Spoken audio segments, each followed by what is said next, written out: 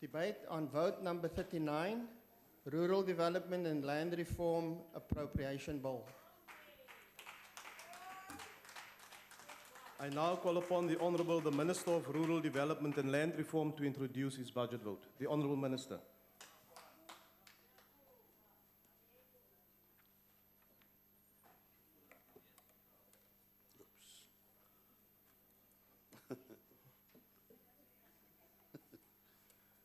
Honorable Chair, I've got a couple of homeboys on, the, on my left here.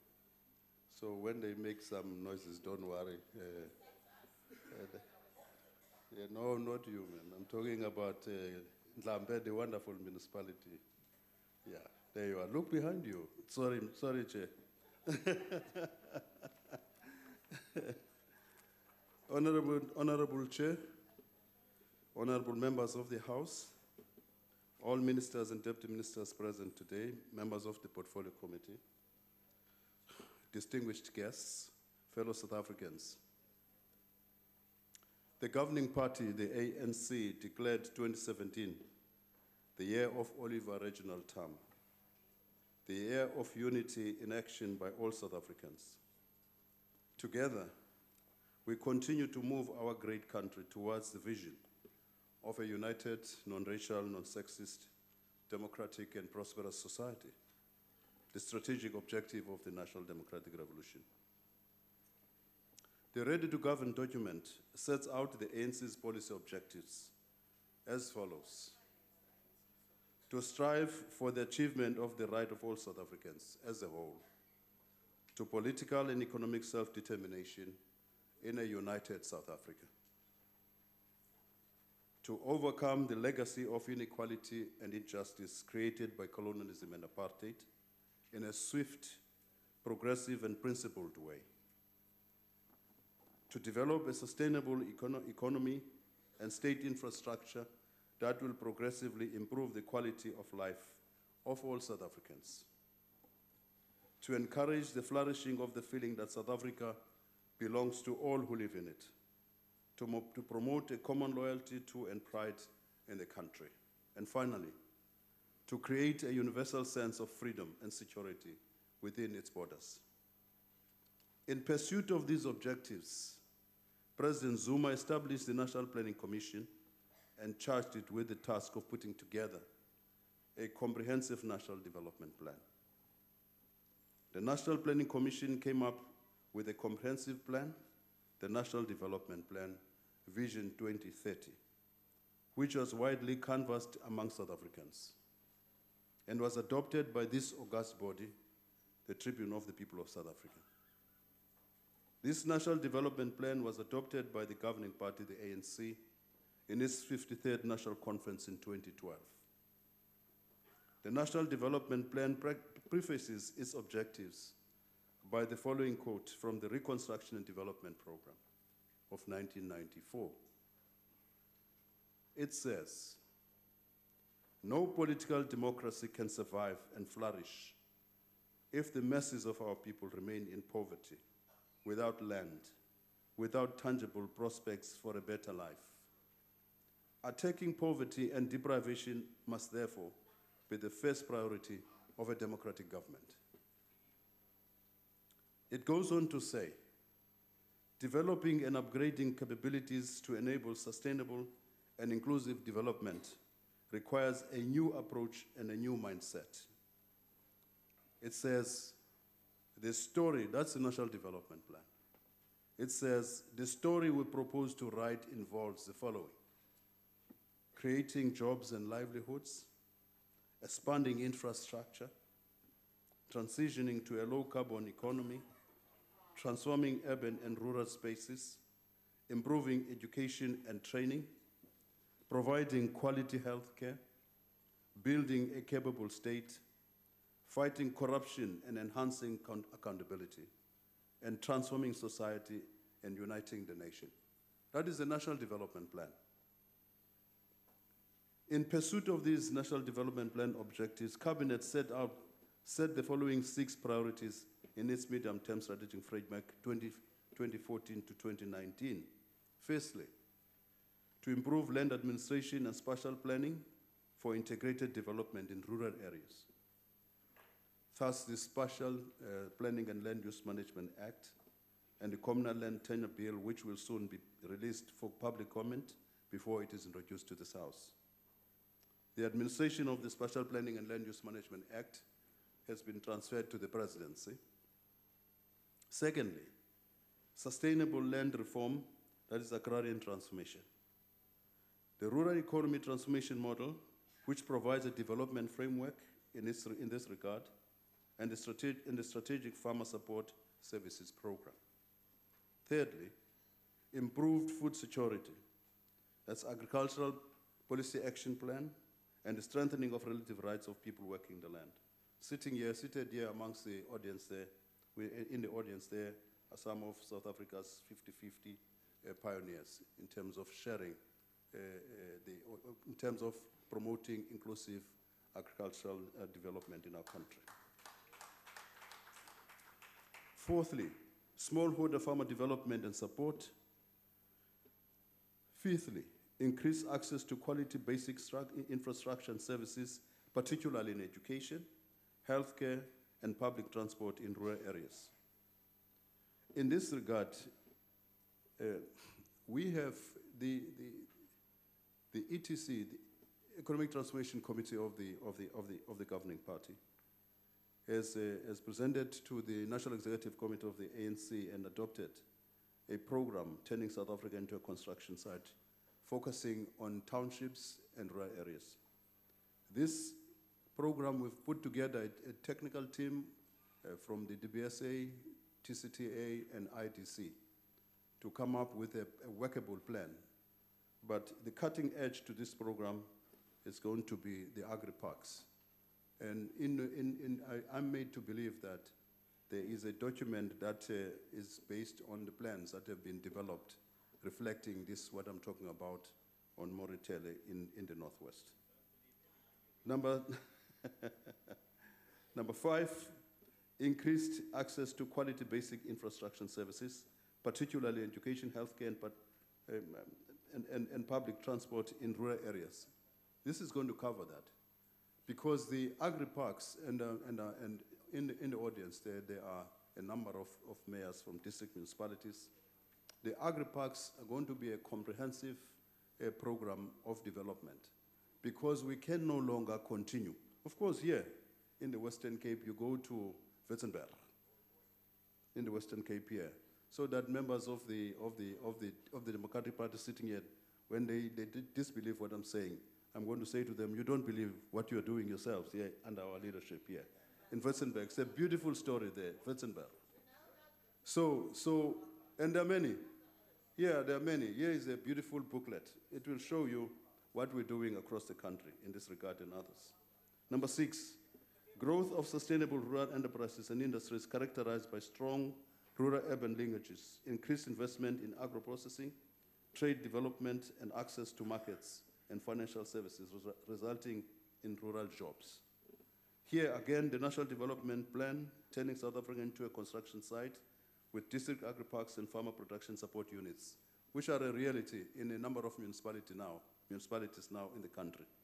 The key agrarian transformation measurables are the following in this regard. One, meeting basic human needs, refer, reference re- reconstruction development program. I'm sure most of us are familiar with the RDP. Secondly, proliferation of agro-village enterprises and industries, including agro-manufacturers and, and retailers, sustained by credit facilities, markets, and other strategic logistics. And finally, improved land tenure system. Challenges and mitigation. We have many challenges. We acknowledge this. We don't hide that. We have many challenges. But we take heart in the following quotation from Che Guevara. The road is long and full of difficulties. At times we wander from the path and must turn back. At other times we go too fast and separate ourselves from the masses of our people. On occasions we go too slow and feel the hot breath of those treading on our heels. In our zeal as revolutionists, we try to move ahead as fast as possible, clearing the way, but knowing We must draw our sustenance from the mass, and that it can advance more rapidly only if we inspire it by our own example. That is, that is fundamental. So fundamental, in fact, that it informed the 53rd National Conference of the, of the ANC uh, uh, when it ushered in what it called the second phase transition of the National Democratic Revolution, characterized by radical economic transformation. Economic transformation, however, is not for itself, but for changing the social conditions of our people for the better. That's a measure, that's a measure of radical economic transformation. In that context, therefore, radical socio-economic transformation is more appropriate, which is defined as follows. That is a fundamental change in the structure, systems, institutions, and patterns of ownership, management, and control of the economy. Contrary to the prevalent public narrative, this is a succinct and, and, and, actionable definition. What it requires is political will to drive it. All of us, all of us. Our biggest challenge remains the answer to the question, though who owns South Africa? In terms of phase one of our land audit, it became clear that we still needed to conduct an audit in terms of, of land ownership by race, gender, and nationality. We have just concluded the latter process. That is, that is now phase two. However, there are still huge challenges because of gaps as a result of the absence of information in respect of institutions, such as trusts, private and public organizations and companies, as well as sectional title holdings. The source of this enduring challenge is incoherent institutional transformation, both in, within and external to the Department of Rural Development and Land Reform. For example, the two examples the absence of a dynamic interactive relationship between the National Geomatics Management Services, the surveys, and the deeds registration system. Yet the former fits into the latter. There's that incoherence there which we're dealing with as term, in terms of us making sure that the information that we, we take out to the public with regards to phase two of the land audit is accurate. Secondly, we have proj- projectized the land claims process. Now, if you, if you really look at it, it's five years. We say people come and lodge claims over, a, and you give them a, a period of five years. This, in our view, and, and we're canvassing this, we've canvassed this with the governing party and we've agreed that indeed we need to have a look at this because this was a strategic error which did not take into account fiscal constraints, complexities associated with verification and validation of, of claims, court challenges, and internal capacity constraints. In terms of moving forward, we are working on transforming the Land Claims Commission into a Chapter 9 institution so that people, uh, because land was taken from people over, over centuries, a lot of the people from whom land was, was taken through wars of dispossession are no longer there. We need research because there are so many embedded land claims. And some of the embedded land claims are claims that relate to traditional areas where you have traditional leadership.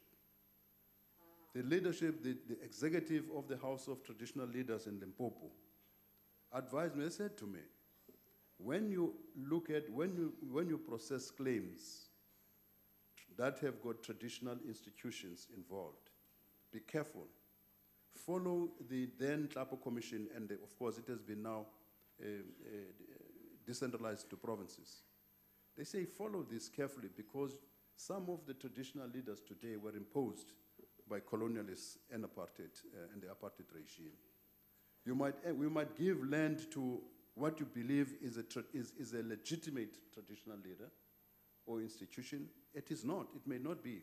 After the Nhlapo Commission result, then you might actually find out that you did, without uh, uh, intention, a wrong thing by giving land to the wrong uh, chief. So they said, be careful as you do that. So a lot of these embedded claims. So we want to give enough time. Let it be in other countries like Australia. They don't have a project. That's five years. It's a, it's a lifelong thing because research will show all the time that people, in fact, as you can see during the second window, during the second window, we consulted no less than 1,296 people who had received land. And they said, they said to us, Minister, please go back and ask government to reopen the land claims. Because a lot of the people with whom we were removed uh, uh, together from this, from this land are no longer, are not there because they, they don't enjoy it, because they didn't claim, for whatever reason. Now, we can't bring them in because in terms of law, they must apply, they must lodge claims and be processed, etc. They say, please reopen so that these people can have an opportunity to join us, so that together we can enjoy this land which has been brought back to us. So that is the essence, that is, that is essentially what drove us to go to the cabinet and request that we open the land claims. So that is why now we're talking about turning, transforming this land claims commission into a chapter 9 institution so that our people can have the opportunity over the long term to, to look at themselves, uh, in, interact with, with family and friends and people they were removed with, they can lodge claims over, a, over a, on an ongoing basis rather than as a project here. In terms of moving forward, we're working on transforming the Land Claims Commission, therefore, into a Chapter 9 institution. The National Geomatics Management Service, these registries and Office of the Valuer General will be listed as Schedule 2 ent- entities in terms of the Public Finance Management Act of 1999. This is important because a lot of people, particularly if you look at the, uh, at the of, of the Office of Valuer General, a lot of people, including farmers, in particular farmers, they, they're very, very sensitive about this question and say, this office ought to be independent so that we can trust it. And they keep writing to the, to the Valuer General. Now there is a, there's a regulation, a set of regulations that, we, that we've sent out for public comment. A lot of, some of them are even threatening, threatening to take him to court because they believe that he, is, he, can't be independent because he's attached to the department, etc. But this is a process. We're moving in that direction. By the way, the Valuer General is sitting here because we keep on talking about willing buyer, willing seller. There's no such a thing. I've been saying this so many times. There is no willing buyer, willing seller in the Constitution of the Republic of South Africa. There is no willing buyer, willing seller in the policies of the governing party, the African National Congress. The ANC conference took a resolution. It said, establish the office of the Valuer General. We are, actually, we are one of a few in the world, not just in South Africa. It's the first time ever in the country. There's the man. Please, uh, Chris, stand up so that people see you as. There's he. That's the Valuer General, the first ever in the country. It's one of a few in the world. Namibia's got one recently. We have, we're trying to link up with others. We get some in Australia, etc. So we have it. And that is the office that has the, the final say in terms of the requirements, uh, in terms of a just and equitable principle in the constitution of our country. It's working very closely with the University of Cape Town. You remember me saying that, but now the Wits, Wits University has also joined in. They're working together so that they're training, they're doing in-service training uh, to, to the valuers that are, pres- that, are, that are present in the country. Because our universities also, I'm talking institutional transformation now, in terms of the, of the, of the, of the radical socio-economic transformation there. There's institutions there. Our institutions of learning have not adjusted their own curricula to fall in line with the, with the constitution of a country. They're still focusing in training on, on, on market value and ignore the four other aspects or factors in the constitution of the republic. So he's driving that relationship with the investors, thanks to the University of Cape Town and Wits University for now. A further challenge relates to water rights being allocated to individuals, not to, to the land. This is a wonderful, uh, a wonderful initiative now with the Minister of Water and Sanitation. She actually is, is going to, trans, to, to, to, to, change this so that water rights are attached to land, not to individuals. When an individual sells the land, therefore, the individual lives, the, the, lives with the water rights. This is a serious matter. They live with water rights. And, and in some instances, you know what's happening? The BEE culture is setting in in this regard. In some instances, when, when, when people, when, when commercial farmers now, who are white, they enter into an arrangement with black people who want to be partner, partner them in the, in the business. They say, okay, no problem, bring water rights. Do, do you hear that? Just bring water rights. And they come with water rights and they become partners. But every other thing remains in the hands of the commercial farmer. That's a problem. Furthermore, subdivisions and changes of land use are happening at a rapid pace. An audit needs to be conducted in respect of both these issues because they negatively impact on land reform farms. Although regulated by laws, compliance with the enforcement of such legislation needs to be strengthened. A lot is happening in these functions with minimal accountability. We're talking about institutional transformation in the context of the radical socio-economic transformation.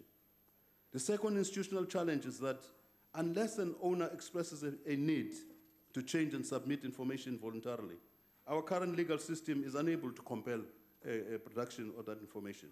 They deliberately withhold information about the changes on land and or property. At present, we have no institutional mechanism to enforce disclosure. Cabinet is considering the report of phase two of land audit, and we are expecting strong decisions to address all these institutional chal- challenges. And the Land Commission provided for in the regulation of agricultural land bill will enforce disclosure of ownership of land and landed property. It's just a small thing here. a small thing here. We've got the regulation, we call the Regulation of Agricultural Land Holdings Bill. Now, here is the catch. Again, and because of the radical socio-economic transformation, we check this. There is a law of 1926 that defines agricultural small holding, rather, agricultural land holding, rather, only confined to one province, the Transvaal.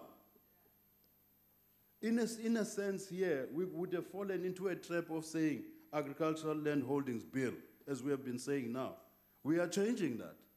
It is going to be agricultural land bill, not land holding. By the time it comes here, it will not be land holding. Because if it is land holding without us knowing, it will have referred only to the Transvaal. That's institutional transformation. When we talk about radical socio-economic transformation, we talk real issues like this one. So we have found it with, through the, the, the, the process of looking into the land audit phase two. Who owns this country? Finally, budget allocation. Um, Honorable Chair, we have a budget here of 10, of 10 billion rands here. This is a budget which we are presenting to, to this august body, our National Assembly. And uh, we hope that uh, the House will, will, will, will, will approve it so that we can carry on with the agenda we've just described. In conclusion, by 2030, South Africa should experience more integrated, vibrant, equitable, and sustainable rural urban com- communities. That are supported by requisite logistics, social and economic infrastructure, inclusive economies, development finance institutions, and credit facilities, bustling mar- markets, small, micro, medium, and large scale enterprises and industries, employing millions of people, and supported by research, innovation, and information and technology centers. This is the National Development Plan. I'm talking to the National Development Plan, and all that I've been talking to now is the National Development Plan. Now, this is exactly the point. No, the, the, the honorable member is correct. The, the honorable member is correct. That is exactly, that is exactly, that is exactly what we are, we are talking about here. This, this honorable chair, this policy speech is not talking about mythical things out there. It's talking about issues that are happening. Check here. You've got, it's, yeah, it's going to come. It's going to be distributed to everybody. This is an exhibition of what we are doing in terms of rural development and land reform in the country. Now we have appointed, some of the mayors are sitting there, all the district mayors, including your district mayors, honorable members here, all of them to be political champions of the agri parks.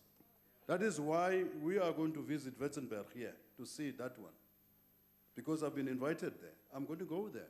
They're sitting there. I will go to Witzenberg and see them. One day you come with me and see what we're doing. So that when you say sitting here as honorable members in the opposition, no, no, nothing is happening, that's a joke. We say to you, is this a joke? It's here. Witzenberg.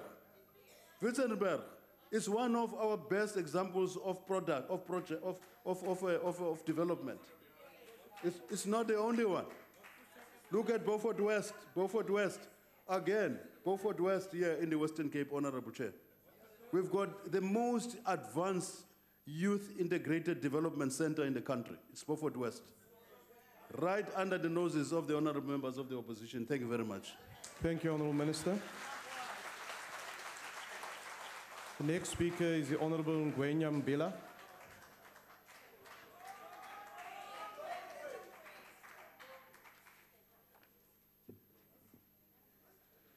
Thank you, Honorable Chairperson. Let me indicate that as the ANC, we support budget vote 39. The late Honorable Nelson Mandela once said, I quote, "A fair land redistribution to its former black owners will guarantee peace, stability, and national reconciliation as the country emerged from the white minor- minority rule." Close quote. Furthermore, section twenty-five of the constitution subsection five indicates that the state must take reasonable legislative and other measures within its available resources to foster conditions which enable citizens to gain access to land on equitable basis. Therefore, land must be given back to the rightful owners following the existing legislative frameworks. If those frameworks does not address the issue of land question, it is our responsibility as this house to review those legislative frameworks. Let's therefore not encourage land grabs. We know that success is a journey, not a project.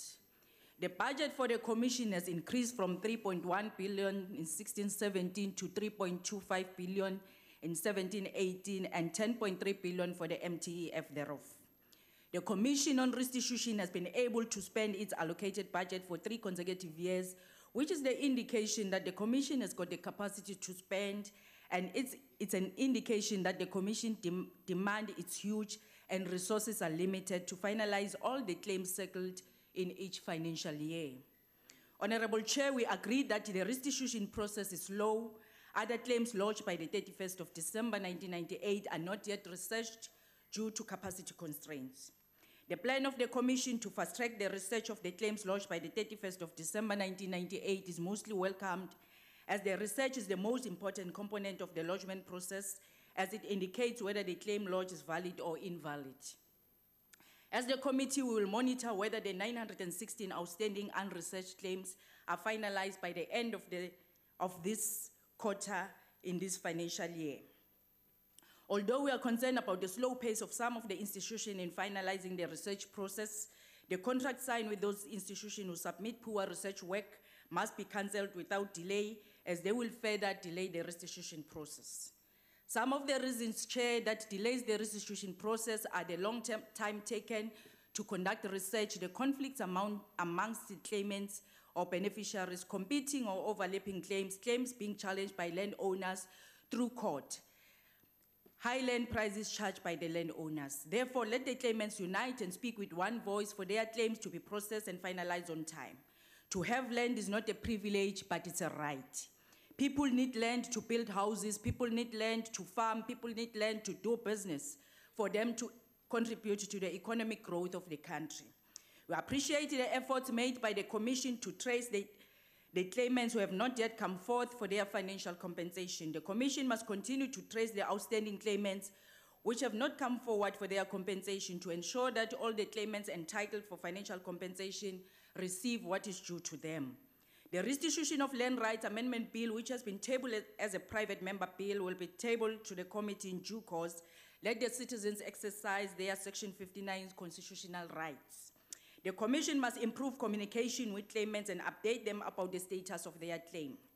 The policy on the exceptions to the 1913 cut-off date to accommodate the Khoi and the San people access to heritage sites and historical landmarks is taking long to be finalized. Consultations were done, let the department finalize this policy to ensure that the Khoi and the San benefit from the land reform program. People will not be free until their land is returned to them.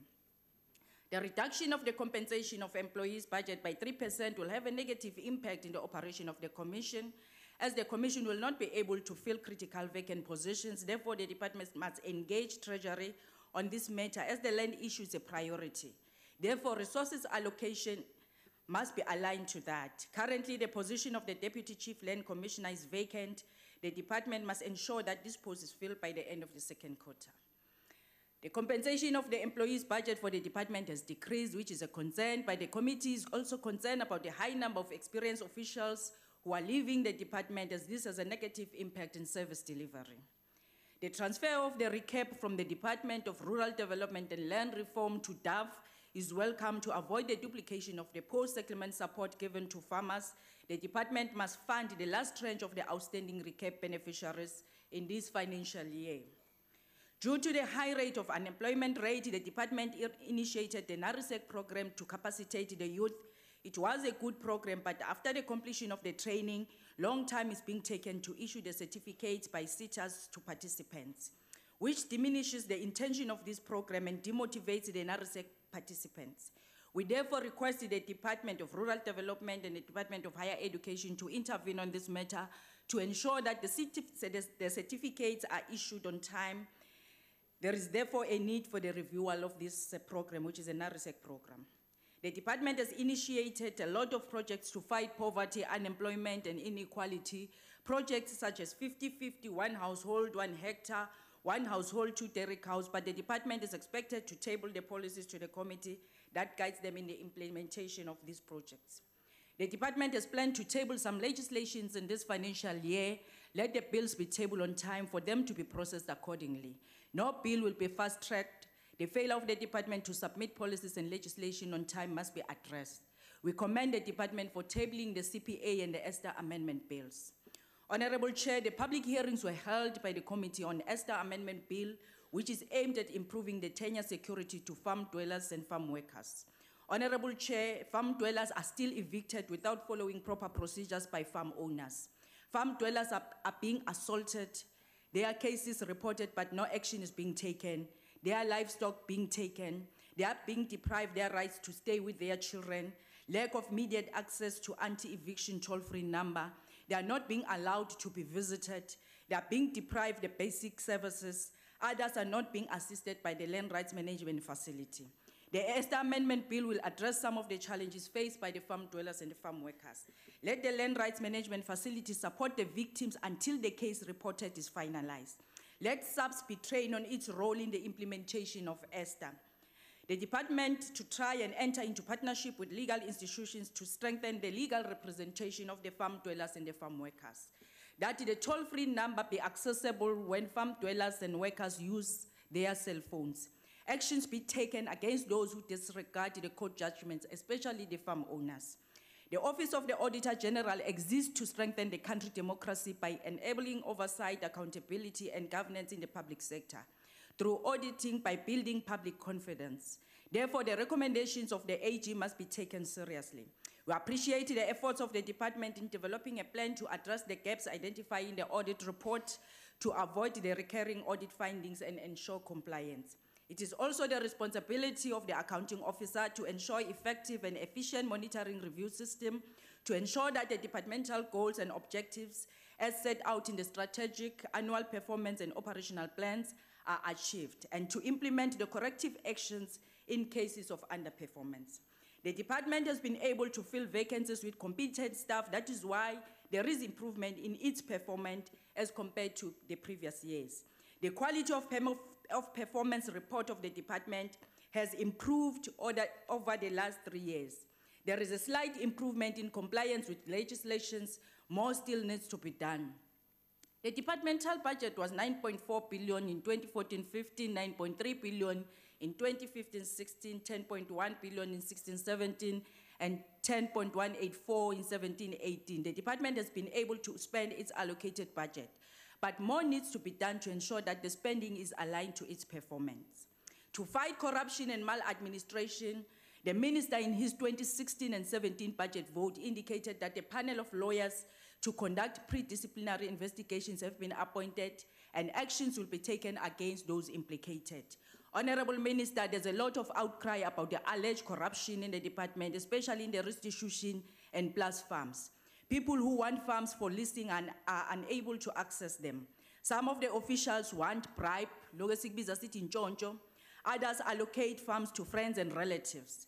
Let the audit be done on the PLAS farms to understand who is occupying the farm, where and how that person has accessed the farm. Is there any lease agreement that has been signed and how much is being paid for lease rentals? Lots of investigations were done, but sometimes actions take long to be implemented. At the beginning of the term, the department and the entities are expected to table the strategic plan. Further that in each financial year, they must present annual performance plan together with operational plans. That plan will enable the committee to do its oversight effectively. We therefore commend the ITB for ensuring that the two plans are presented. As the committee were concerned about the delay by ITB in finalizing policies, the ITB has to finalize the policies of funding cultural events and bursary policy and other outstanding policies to ensure that funding allocation is done in, is done in order, not haphazardly. The ITB is commended for being able to pay service providers on time who submitted undisputed invoices as said by the Honorable President in the SONA. That service providers must be paid within 30 days. The ITB is, eh, is expected to use its allocated resources effectively, efficiently, and economically for the benefit of the rural people living in the ITB land area. The provision of the financial support to youth living in the ITB land is mostly welcome and appreciated. It will decrease the number of unskilled youth and create job opportunities for young people.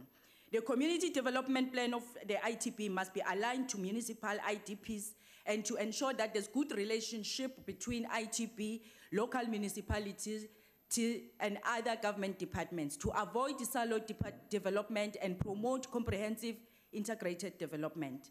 The Department of Rural Development and Land Reform must play its role in guiding and monitoring the implementation of the ITB Act. ITB reports must be submitted to the department first before being tabled to parliament. That is a must.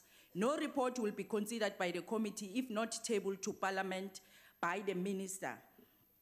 We appreciate that the ITB has been able to appoint contract workers permanently, but more still needs to be done to ensure that people with disability are recruited as per the white paper on the rights of the people with disabilities as adopted by Cabinet in 2015.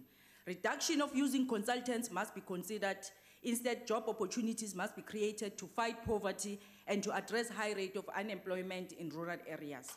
Honorable Chair, as the committee, we will intensify our oversight responsibilities to ensure that no fruitless, wasteful, irregular expenditure will be tolerated.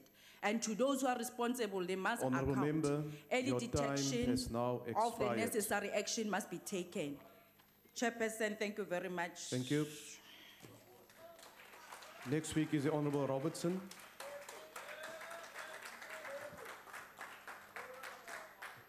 Good morning, everybody. Um, welcome to everybody here. Uh, Honourable Minister, I'm glad that you mentioned the Surveyor Generals here today, but the person we really want, the Valuer Generals here today, the person we really want to speak to is the Surveyor General. Is he here today? He's the person we want to speak to about land. Today, I beg your pardon? Today, I paint a picture to millions of disadvantaged South Africans who look at land as the only remaining answer to addressing long term indignities and economic isolation. The hardest reality for people to embrace is the realization that this governing party will not succeed in, addre- in addressing land reform issues despite having the necessary legislation in place to do it. Somhlomo Trust in Mpumalanga is restituted land with ongoing business concerns, but the beneficiaries have not received one cent. They also have not received title deeds, and they have no say regarding the finances of their own property. Can you imagine the feeling of utter frustration? In the Eastern Cape, near Tsitsikamma, was a thriving commercial hydroponic tomato farm called Cornucopia that has now completely collapsed. The farm was purchased for a workers' trust consisting of employees of that farm. Now, the farm stands desolate. The 18 tunnels that were provided for the hydroponics stands weather beaten and empty. We cannot point fingers at the beneficiaries, though, because government involvement and mentorship required to assist the emerging farmers was non existent, and the Lapumalanga Development Trust was set on the inevitable course of failure. It is these blunders that are currently causing disadvantage to the disadvantaged. Honourable Chair, had we addressed mentorship shortfalls on land reform and given the beneficiaries ownership of their land through unconditional title deeds, emerging farmers or beneficiaries would be so much closer to participating in the economy. I will ask this question If state mentorship is stagnant and non effective, and those that have the, acknowledge and uh, the knowledge and experience on farming are publicly ostracized constantly, who exactly is going to mentor emerging farmers and beneficiaries of land reform? What the DA will do is allocate additional funding to the purposes of research and development that will fast track and the finalization of claims. We will ensure that the policy uh, is implemented effectively. We will increase the budget for mentorship programs so as to drastically improve the chances of success for emerging farmers. We will approach existing stakeholders to assist and offer business models that speak to the development of disadvantaged South Africans. Finally, the DA are the only party that truly wants the poor to own their own property, and that dependency on the state should be transformed into prosperous participation of the poor in our economy. I thank you very much. Thank you, Honourable Member. The next speaker is the Honourable Matiase.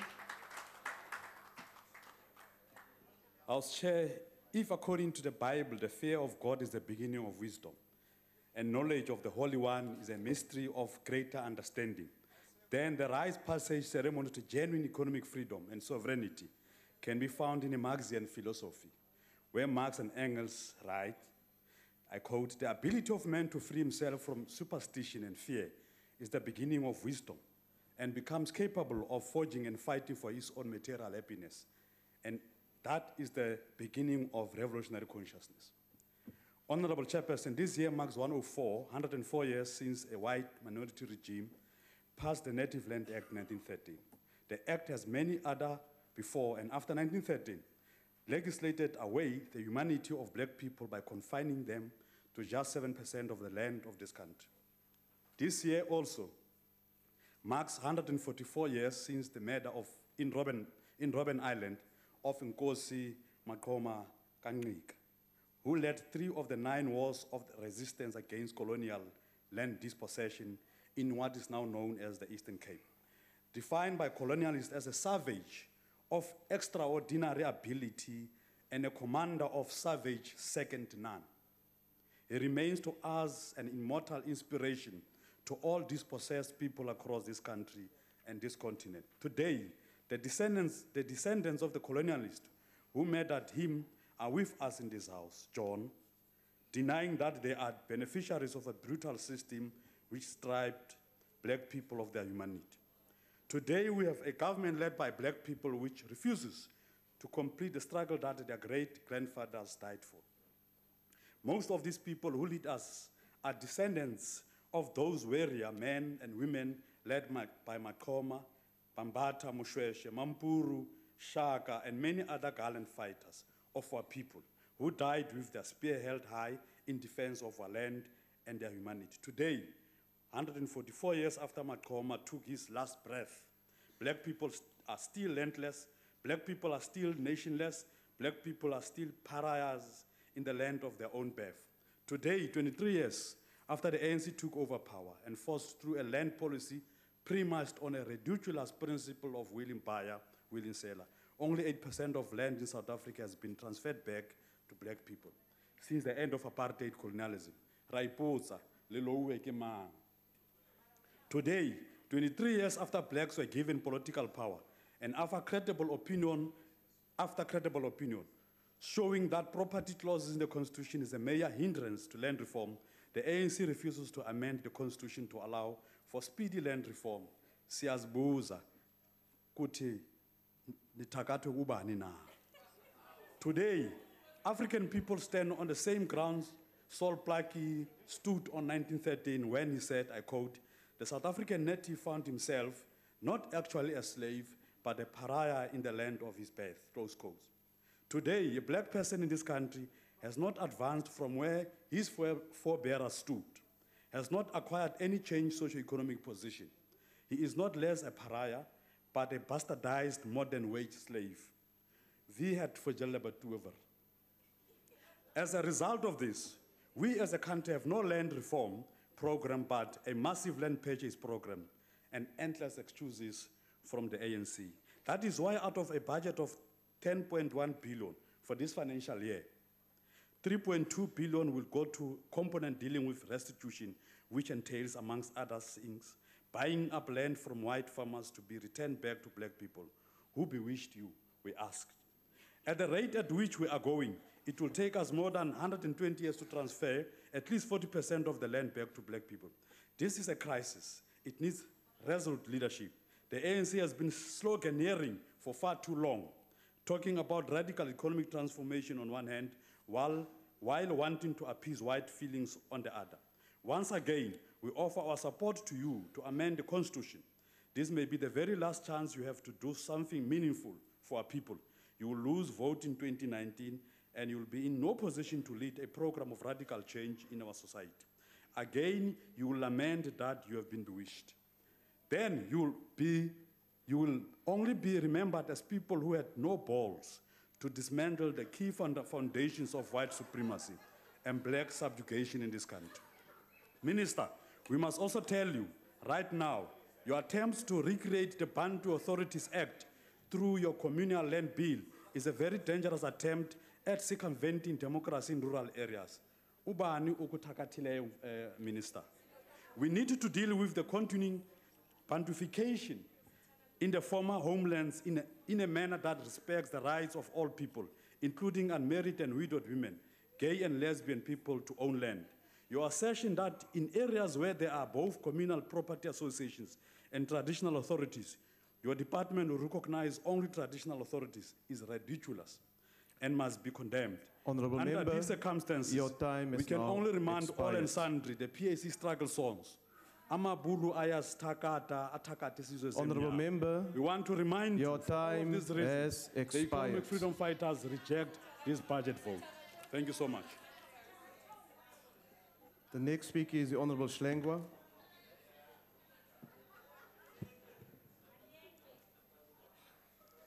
Uh, Honorable House Chairperson, Honorable Minister, and the two Deputy Ministers in the Department, Honorable Members.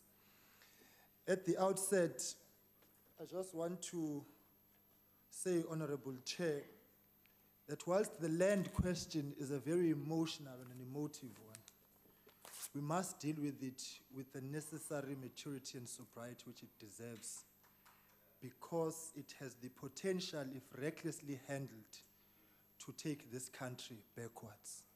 Having said that, it does not mean we must be complacent and not move with the necessary speed to actually deal with the land question. Expropriation with compensation remains the IFP policy. And by compensation, we do not mean that it must be profit seeking. So, the first order of business that we'd like to charge the minister and the department to look at, and I'm glad that the Evaluator General is here as he be- has been introduced, that quite a number of land claims have taken place and exorbitant amounts of money have been paid. We charge the department to go back and investigate the collusion and the criminal element that took place in those transactions. There are instances whereby land which ordinarily should have cost 5 million rands, people took it for 15 million rands, and, we, and lifestyle audit must take place of the officials involved so that we can actually begin to recover the money that was lost unnecessarily. Because we cannot abuse you know this important responsibility of giving land to our people um, by and abuse it with officials lawyers and persons who are criminals. So we charge you minister that investigate this thing. It's in the national interest because it will legitimize what you are doing. For so long as there's a criminal element then we can't take it seriously as a genuine endeavor um, of the government. Honorable House Chairperson, if there was development taking place in rural areas, and I come from the rural south coast of KwaZulu Natal in Kamgemfume, but for everything I need to go to town. And that being the phenomenon, It means that we are overburdening urban areas with the slow pace of development in rural areas. Healthcare, housing, infrastructure, water, sanitation, the whole nine yards. Urban areas find themselves burdened. And so we've got a wall to wall municipal system in this country in any case. We must begin ensuring that municipalities which are in rural communities in the main are given the necessary capacity, skills, knowledge, and expertise to be economically viable so that we do not have this continuous exodus of people from urban, rural areas to urban, urban areas. With that, of course, we're not saying people must not move to urban areas, but let us begin creating new economies in rural areas. I mean, the, the concept of special economic zones can work if our minds are duly applied to it. Umzumbe on the south coast of KwaZulu Natal for a long time um, was the hive of um, um, beans production. Today, that is no longer happening, and people have to pay 110 rands for 5 kgs of beans. So, really, this is in the national interest that we go back and zoom into the capabilities of rural areas and begin constructing deve- the development agenda around the strengths and capabilities um, of, of, of those communities. Fine, Honorable Chairperson, I just want to say, Minister, we need to have NARYSEC revived and working better um, th- than we've seen before. Allow me, Honorable House Chairperson, to say, if we want to address the land question properly, the genesis should be going back, the Honourable point Member, of departure, your the time is now and the expired. If we are to legitimately address the land question, I thank you. Thank you. The next speaker is the Honorable Khubisa. Eh sihlalo hlonishwa ngqongqoshe nongqongqoshe abaphakathi kwethu eh nama deputy ministers honorable members. Asisho ukuthi si yayimukela i budget eh ngqongqoshe. Kodwa ke kukhona izinto esifuna ukuzisho which we feel are very pertinent.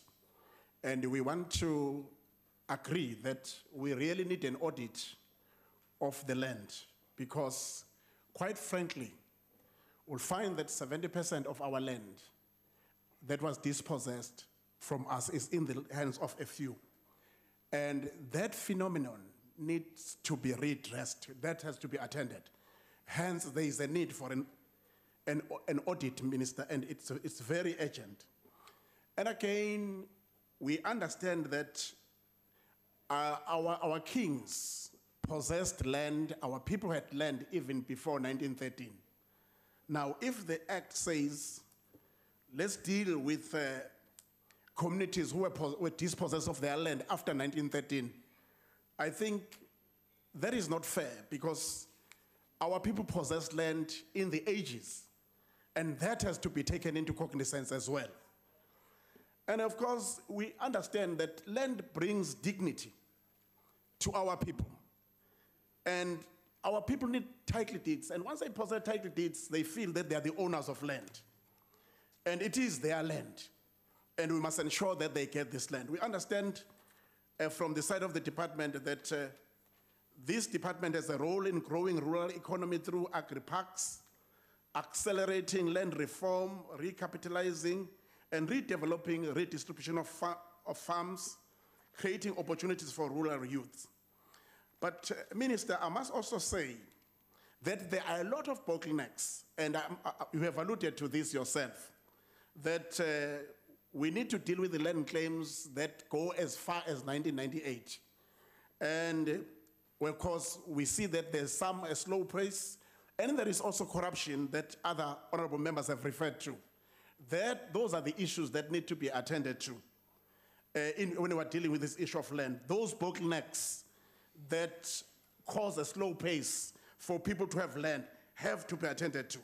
I know that your department minister has to work in tandem with other departments like uh, COGTA, like also agriculture and fisheries. Let us deal with this issue of uh, farmers who are abusing our, our, our, the, the, the farm workers. But, uh, then, but also at the same time, farmers must not be killed because there are so many incidents of farmers that are killed all over the country. That issue must be attended to. Because whilst we deal with those farmers that are abusing our people, let us also deal with those who kill the farmers because we don't want that kind of anarchy in our country. And of course, the issue of land is a very sensitive one as we deal with it. And of course, we don't need any anarchy. It must be dealt with, with within the ambit of the legislation. And Minister, I want to say uh, it is very important also that to ensure that those who get farms are given these mentorship skills, uh, expert knowledge, so that they're able to farm them. Because we see that those farms are lying in waste because these people don't have uh, uh, some, some skills to farm. They need the training. Our youth need training, enter into cooperatives so that they're able to, to use this land. And it will also help those in the rural areas uh, to be in the, the- those places. And we prevent this whole thing of urbanization and we see the mushrooming of, of, of uh, shacks because our people are leaving the rural areas to, to the urban areas. I think these are pivotal issues that have got to be Honourable attended member, to. your time is Minister, expired. thank you very much. Thank you. The next speaker is the Honourable Deputy Minister of Rural Development and Land Reform, the Honourable Skwatsha.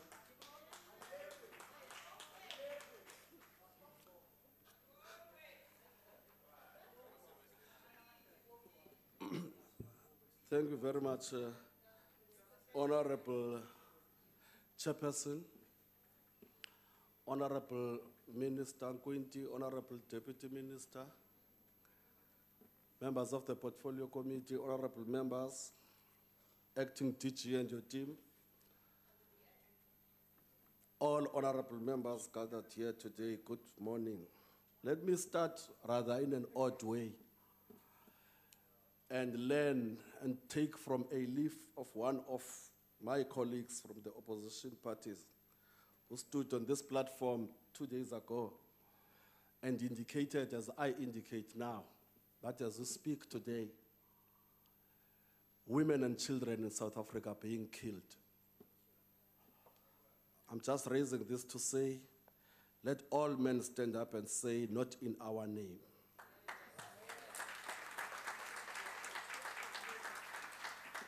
I want to thank the Minister for his stewardship in guiding us as we implement the policies of our government in relation to matters of land reform and rural development.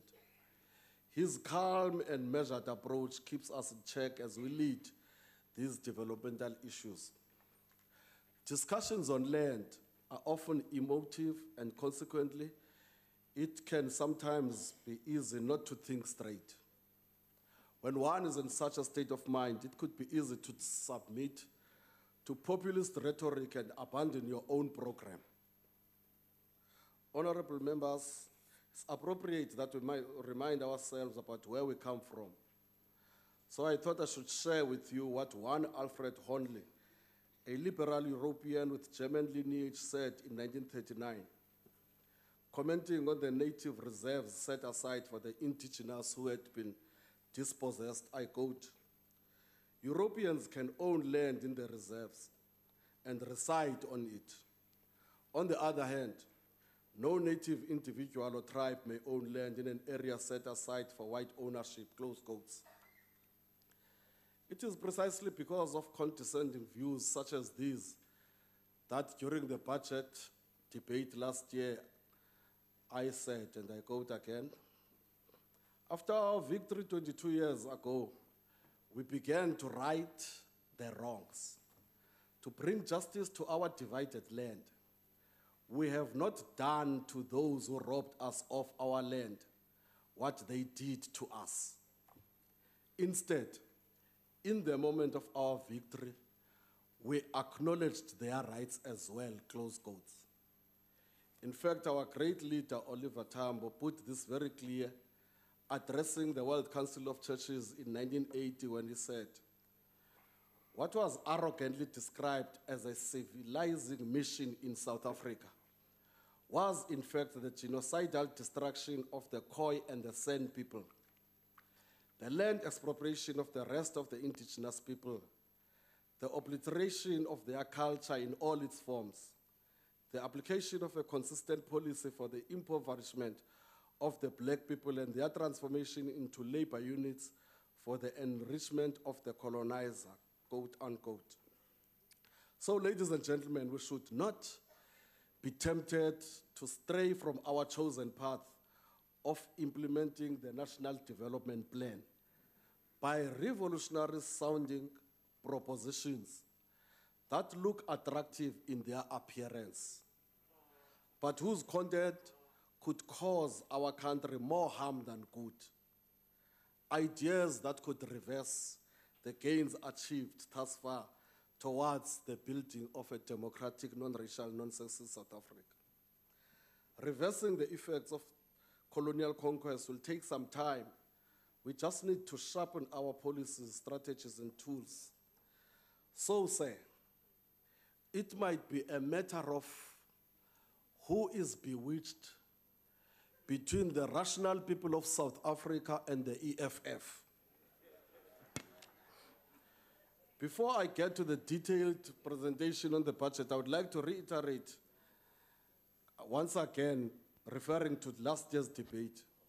We said as a department we're implementing Honorable Deputy Minister, will you just take a seat, please? Why are you rising, Honorable Member? Can the Deputy Minister take, uh, take a question? Honorable Deputy Minister, are you prepared to take a question from the Honorable Member? very, very, very much so, sir, after I've completed my speech. Thank you, Honorable Member. The Deputy Minister will take a question if there's time left after his speech. Thank you. Continue, Honorable Deputy Minister. DLRCs in all 44 districts which would deal with all applications. These DLRCs means that power has now been devolved from the national office to stakeholders involved in agriculture and farming. We have a wonderful program of one household, one hectare. The department initiated this program called One Hectare, One Household in 2015, targeting state-owned farms, PLAS farms, and communal land with the purpose of creating rural smallholder producers at household level to ensure food security. Currently, the department has granted approval for 158 sites, benefiting 5,734 households across the country. We also have the strengthening of the relative rights of the people working the land. The overall progress regarding this program includes the receipt of more than 100 proposals, of which 14 were approved, as at the end of the 2016-2017 financial year. To date, we have invested an amount of 680 million, benefiting 4,450 beneficiaries. The following represent some of the 14 approved projects. In the Eastern Cape, Beberry Farm, Free State, Oatlands, and in many, many other areas in our, in our country. Honorable Chair, oh, sorry. On restitution, the Commission has actually exceeded most of its annual performance targets during the financial year 2016-2017. The Commission has settled 804 land claims and finalized 672. It is exciting to know that the Commission, which is on the cusp of autonomy, has achieved a clean audit in its financial management. Some of our restitution projects have attained international stature where their produce competes amongst the best in the world. The Ravele restitution projects in Limpopo churns out 10 million annual turnover with monotonous regularity, while the, re- while the Nganini restitution project in KZN is training unemployed youth with matric qualification in sugarcane production. Despite our successes, we are aware that there are some communities whose claims were submitted before the 1998 cut-off date, which have not been resolved yet. We are coming and we are dealing with that. Tomorrow we will be in the area of Lawaaikamp in George at a ceremony that marks the final stage in the settlement of a claim there. I'm also delighted to have in the gallery 87-year-old Mr. Pakami Samdala from Kwakiba. It's difficult, I can't ask an old man to stand up. Maybe he can wave if he wishes to. But he is one of those people who lost their claim in 1998. In the financial year 2017-2018, the department will invest an amount of 112 million in the acquisition of land for farm dwellers and labor tenants in order to entrench their security of tenure. The department has also established labor tenants farm, farm dweller forums at national, provincial, and districts on communal property institutions.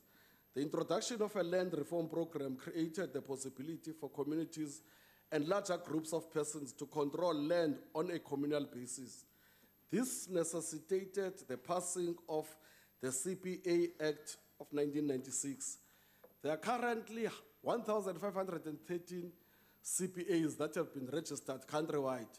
The enormous resources that are normally at the disposal of these entities tend to manufacture conflict that eventually renders the entities dysfunctional. The CPA Act is currently being amended with a view to strengthen control mechanisms and establish a proper register of CPAs. As indicated by the minister, we have a Valuer General which has been introduced. His work is definitely a work that has to be appreciated because it also helps in saving money for government. In conclusion, let me conclude by recapping what is it that we're attempting to do. We are about addressing the injustices of forced removals and the historical denials of access by redistributing land and through restitution. We are about ensuring security of tenure for rural people, farm dwellers, and trunker communities. We are about rekindling the emergence of the black farmer who must play a meaningful role in agro-processing value chain. We are about dealing with the triple challenges of poverty, unemployment, and inequality. We are doing this work without disrupting agricultural production and food security. I thank you. Thank you, Honorable Deputy Minister. This is not The next speaker, ask a question? no, there's no time for you to do that, Honorable Deputy Minister. You can do that outside the chamber. The next speaker is the Honorable Filtane.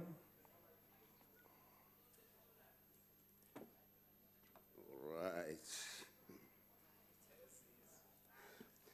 Uh, the UDM supports the budget vote, if only to help the poor citizens of South Africa.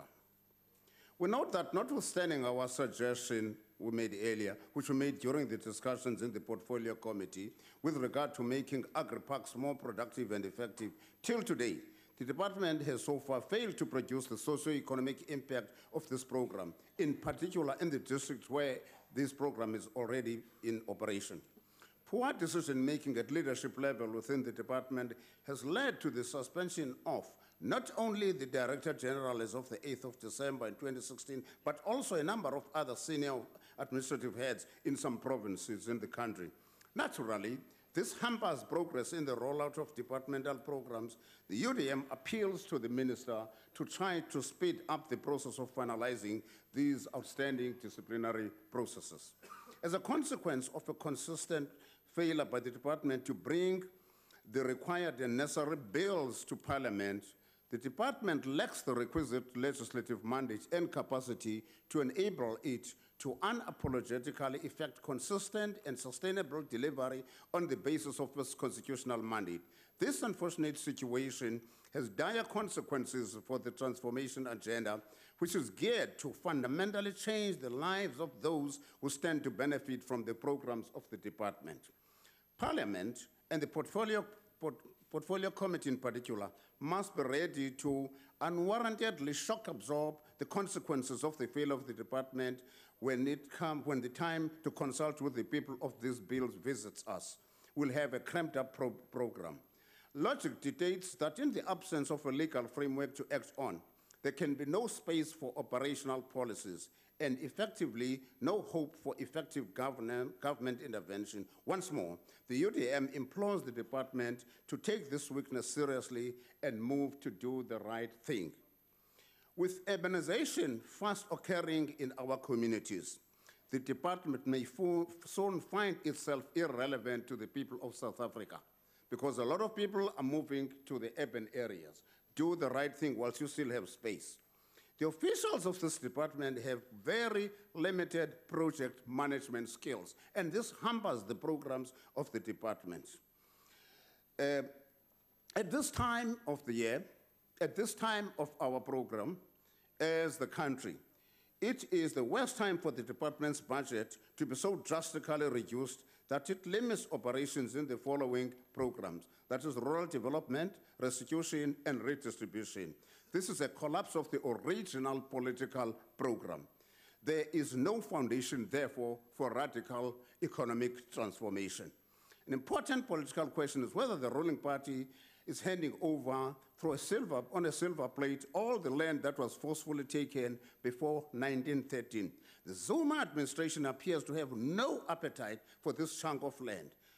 On top of that, over 6,000 land claims before 1998 are- have yet to be finalized.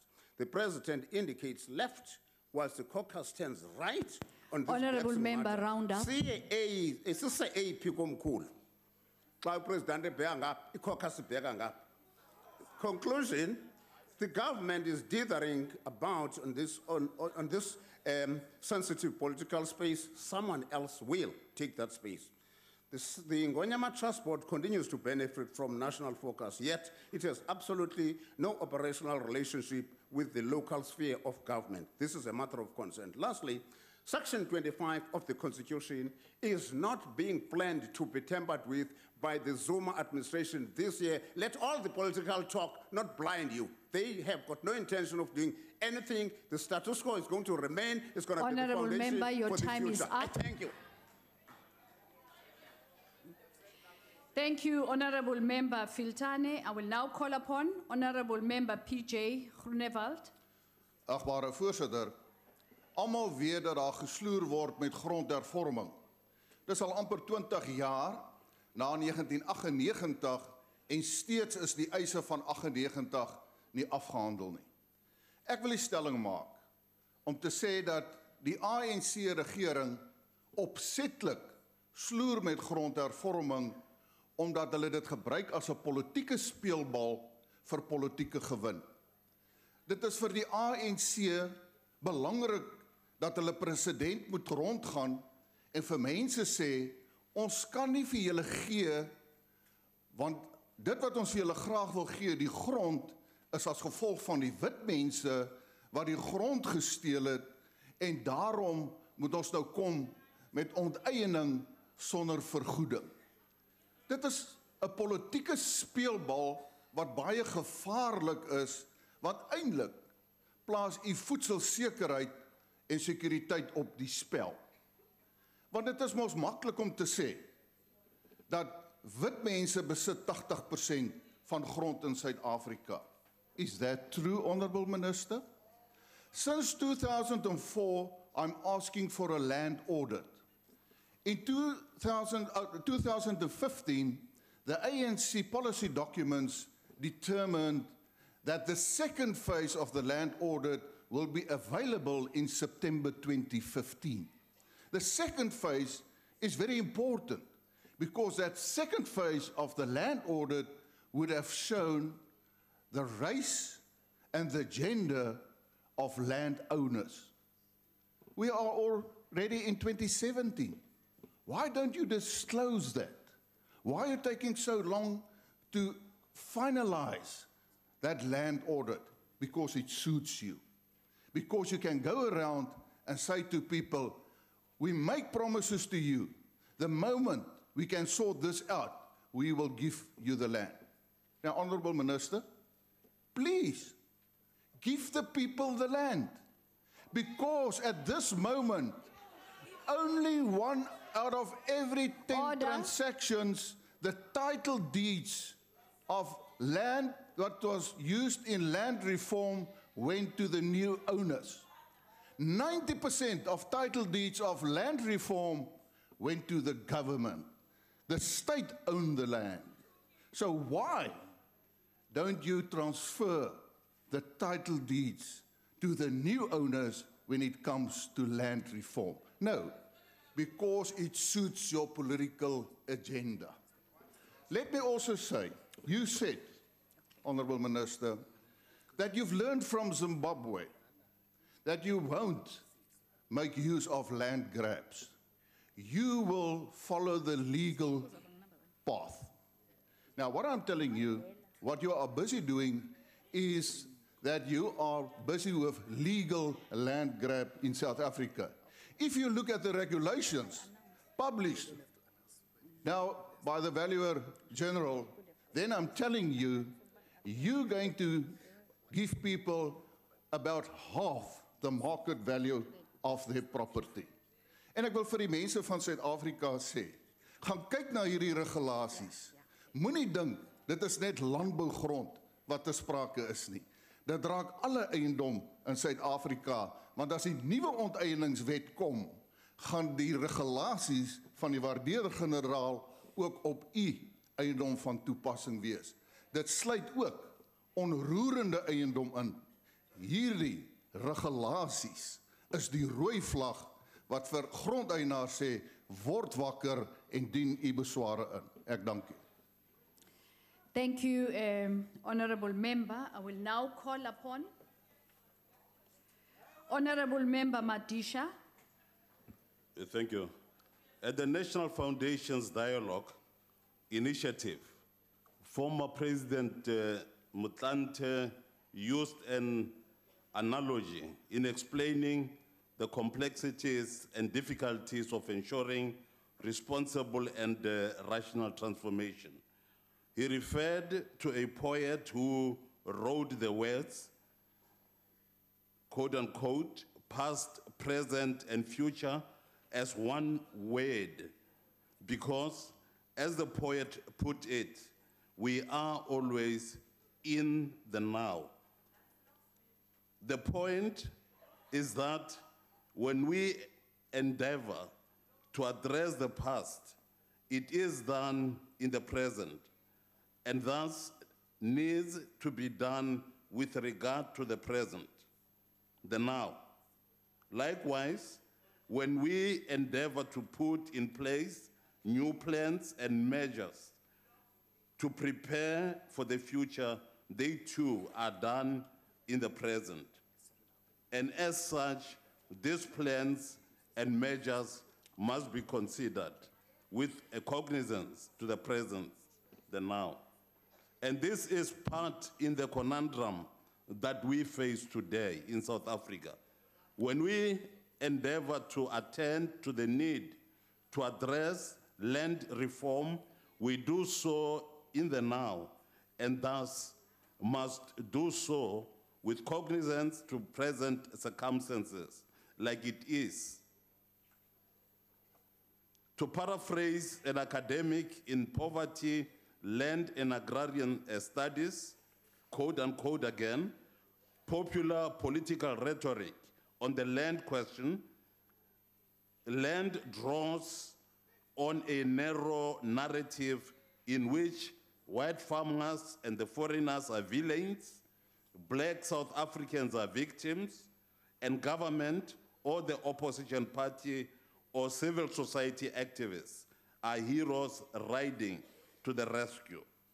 A political imaginary centered on the trends to dominate land discourse. However, many, or maybe the question uh, should be how can the land question, land reform, and securing land tenure be resolved and the rural economy be reco- reorganized so that we achieve social justice, rural development, and at the same time feed growing numbers of urban residents at affordable prices.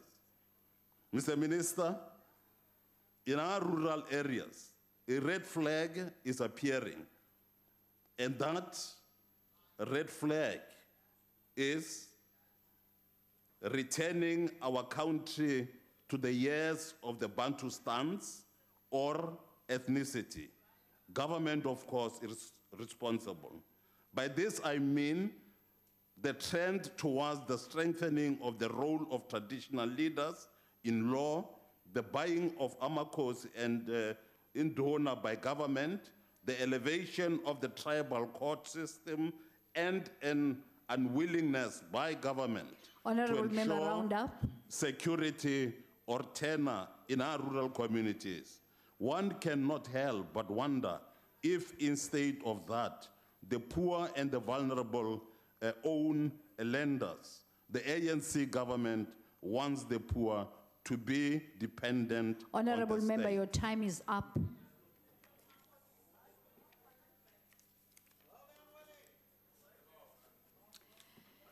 Thank you, Honorable Member Madisha. I will now call upon Honorable Member Madela.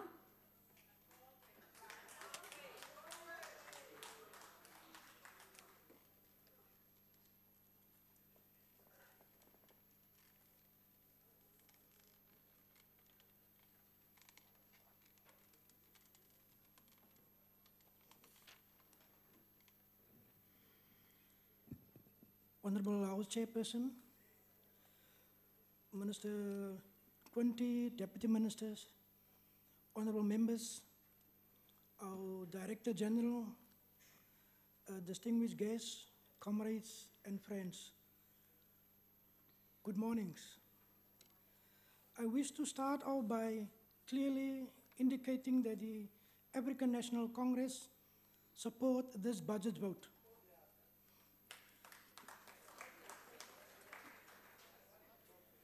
Honorable, Honorable House Chair, I'm profoundly honored and privileged to be able to participate in this budget vote today.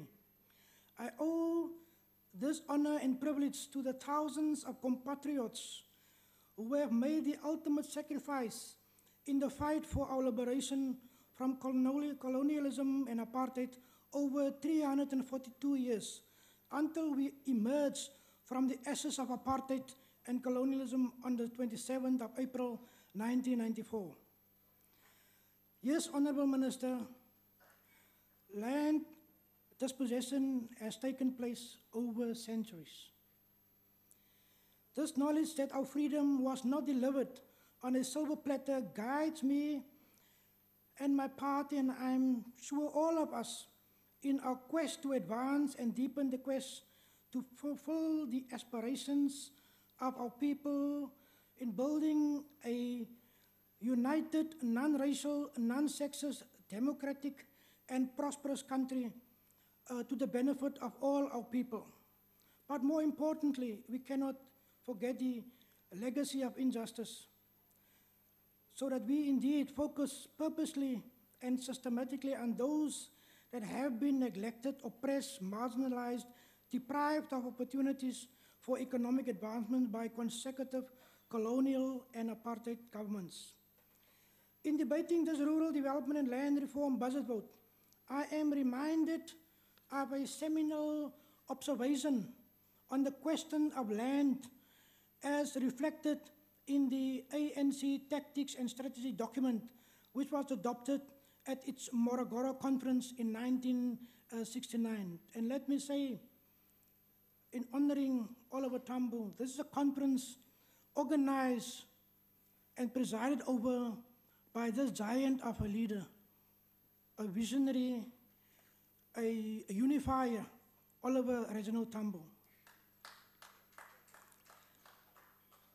This quote say, it is inconceivable for liberation to have a meaning without a return of the wealth of the land to the people as a whole. I think this is very, very important.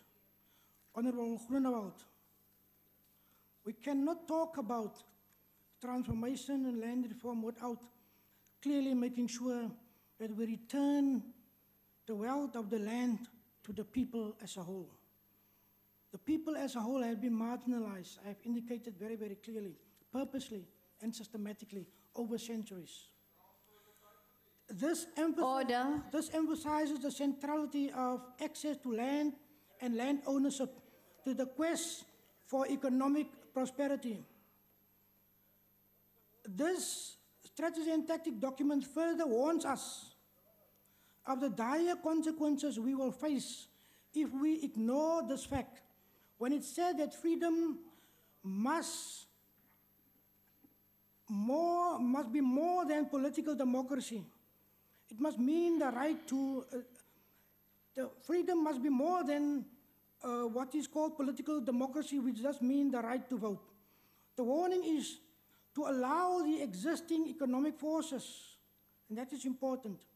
The warning is that if we allow the existing economic forces to retain their interests intact, it is to feed the root of racial supremacy and does not represent even the shadow of liberation. If we leave things on Mongshengwa unaltered as we found it in 1994, then surely we have failed uh, this uh, liberation. And therefore, I agree 100% uh, with your call. Um, the restoration of land rights is therefore a critical task of this government and a core mandate of this department led by Honorable uh, Minister Nkwinti. Honorable members, comrades and friends, instructively, the ANC National Executive Committee, through our President, His Excellency uh, Jacob Zuma, at, the, at our uh, 105th anniversary this year in Soweto, uh, told us, it is time, and I quote, it is time to return the land to our people. The President went further and acknowledged the progress made in land reform and land redistribution as led by Minister Nkwinti, his deputies, um, uh, um, Mashego-Dlamini and um, Comrade Skwatsha, but he reminded us that the legacies of apartheid is still very much evident when he said, too many of our people continue to suffer from the historical injustice perpetrated by the horrendous land dispossessions. He called on all of us to demonstrate courage and determination to ensure that the land is returned to the people. Cheers. We all know today that the then 1913 Land Act uprooted and banished the majority of black people to be squeezed in 30%, 13% of the land, and through ordinances, dispossession, dispossessed descendants from the Khoi and the San. uh, Honorable from- member, round up. from the land that they have lived on, and the notorious Group Areas Act uprooted and displaced thousands of colored um, uh, families. The question of expropriation without compensation is a matter of serious consideration by us as the ruling party. And as we review all policies uh, in preparation for our 54th National Conference in December, we will certainly look at that uh, also. As the ANC, we must increase the pace of land reform and land redistribution. We must, Honorable Minister, member, your time is up. we must act, uh, uh, uh, deal with the issue of the Khoi and the San. Thank you very much. Honorable member, thank you very much. Thank you, Honorable Member Madela. I will now call upon Honorable Member C. Dudley. That's right. Thank you, Chair. The- NDP, which the ACDP supported, includes activities for creating an integrated and inclusive rural economy. This, we understand, must include the creation of jobs in communal areas, expanding commercial agriculture, making land reform work, developing non agricultural activities, developing human capital, ensuring social security, food security, and basic services, ensuring farm worker empowerment and labour relations. No small task, Honourable Minister. The ACDP calls on the Minister not to overlook the importance of ensuring that people receive the basic services in the areas where they live. This is important for many reasons, but also important because if we don't, people will be drawn in ever ever greater numbers to urban areas that are already overstretched in terms of provision of services.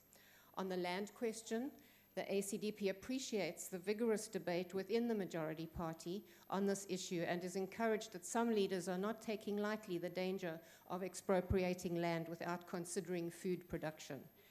ANC Secretary General, uh, for example, has noted that Zimbabwe's failure to value agriculture in its land redistribution has translated into starvation. Land is not just economics, he is quoted as saying, it's a sensitive issue.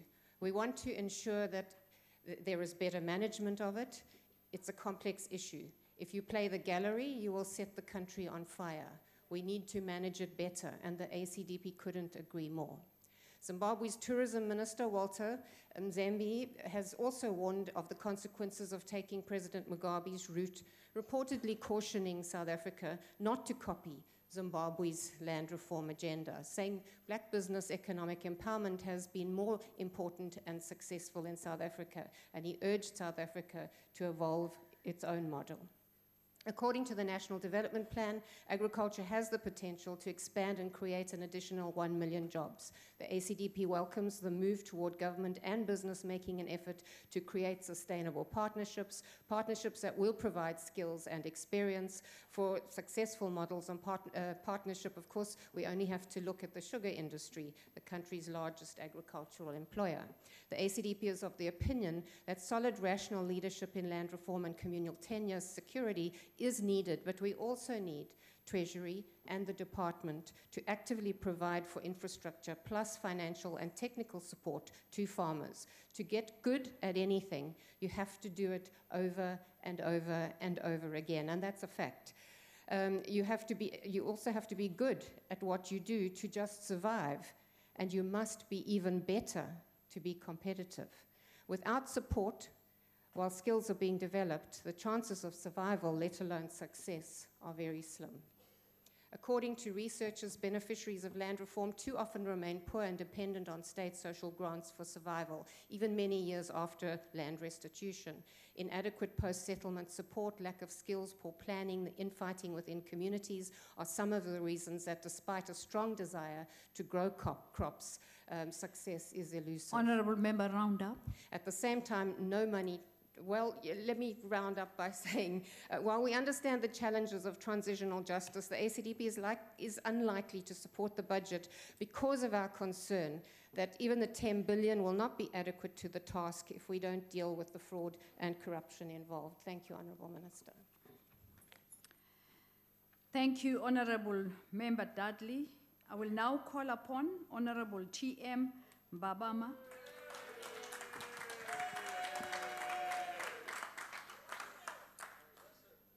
Enkosi Chairperson, ladies and gentlemen, the Constitution provides in Section 25.6 that a person or community whose tenure of land is legally insecure as a result of past racially discriminatory laws or practices is entitled to tenure which is legally secure or to comparable redress. Section 25.9 provides that Parliament must enact that legislation. Chapter 6 of the National Development Plan, which advocates for an integrated and inclusive rural economy, states there will be integrated rural areas where residents will be economically active, have food security, access to basic services, healthcare, and quality education. Achieving this vision will require leadership on land reform and communal tenure security, amongst other things, to implement these interventions. A critical and relevant vision indeed, and one that the DA agrees with wholeheartedly. What the commissioners who wrote the NDP did not perhaps realize was that there was and still is no leadership competency in the ANC to implement this plan. Six years down the line, the plan is challenged by delays in legislation, insufficient budgets, bureaucratic bungling, corruption, and incompetent government officials. In June 2016, King Zwelithini announced plans for those residing on Ingonyama Trust land to be awarded title deeds. The chairperson of the Ingonyama Trust Board later explained that the task would take many years to conclude and would require funds from central government to implement. Strangely enough, there is no provision in their budget to kickstart this initiative. Abantu basalindile nangoku. The ANC's policies on communal land have, like their economical policies, benefited a narrow political elite of traditional leaders at the expense of the rural masses.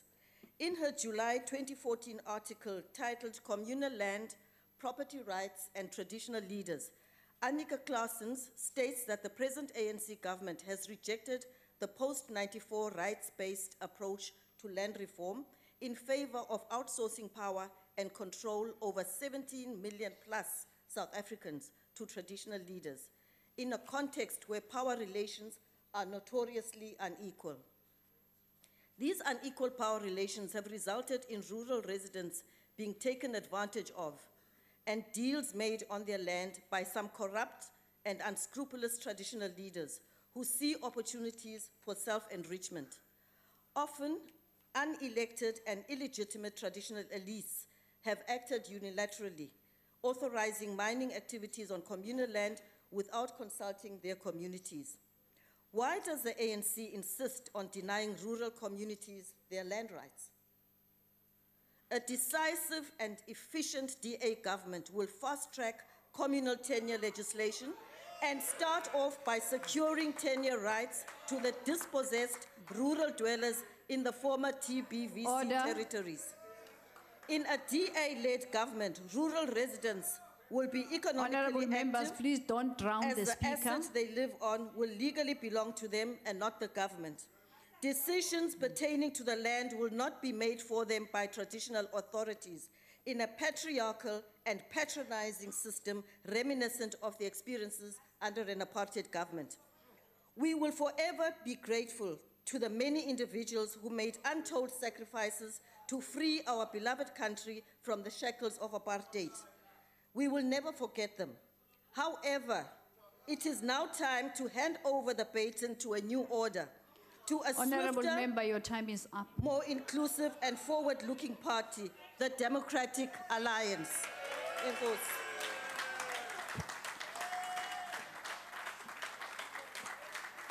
Thank you, Honorable Member Mbabama. I will now call upon the Deputy Minister, Honorable Mashi- uh, KC Mashego-Dlamini.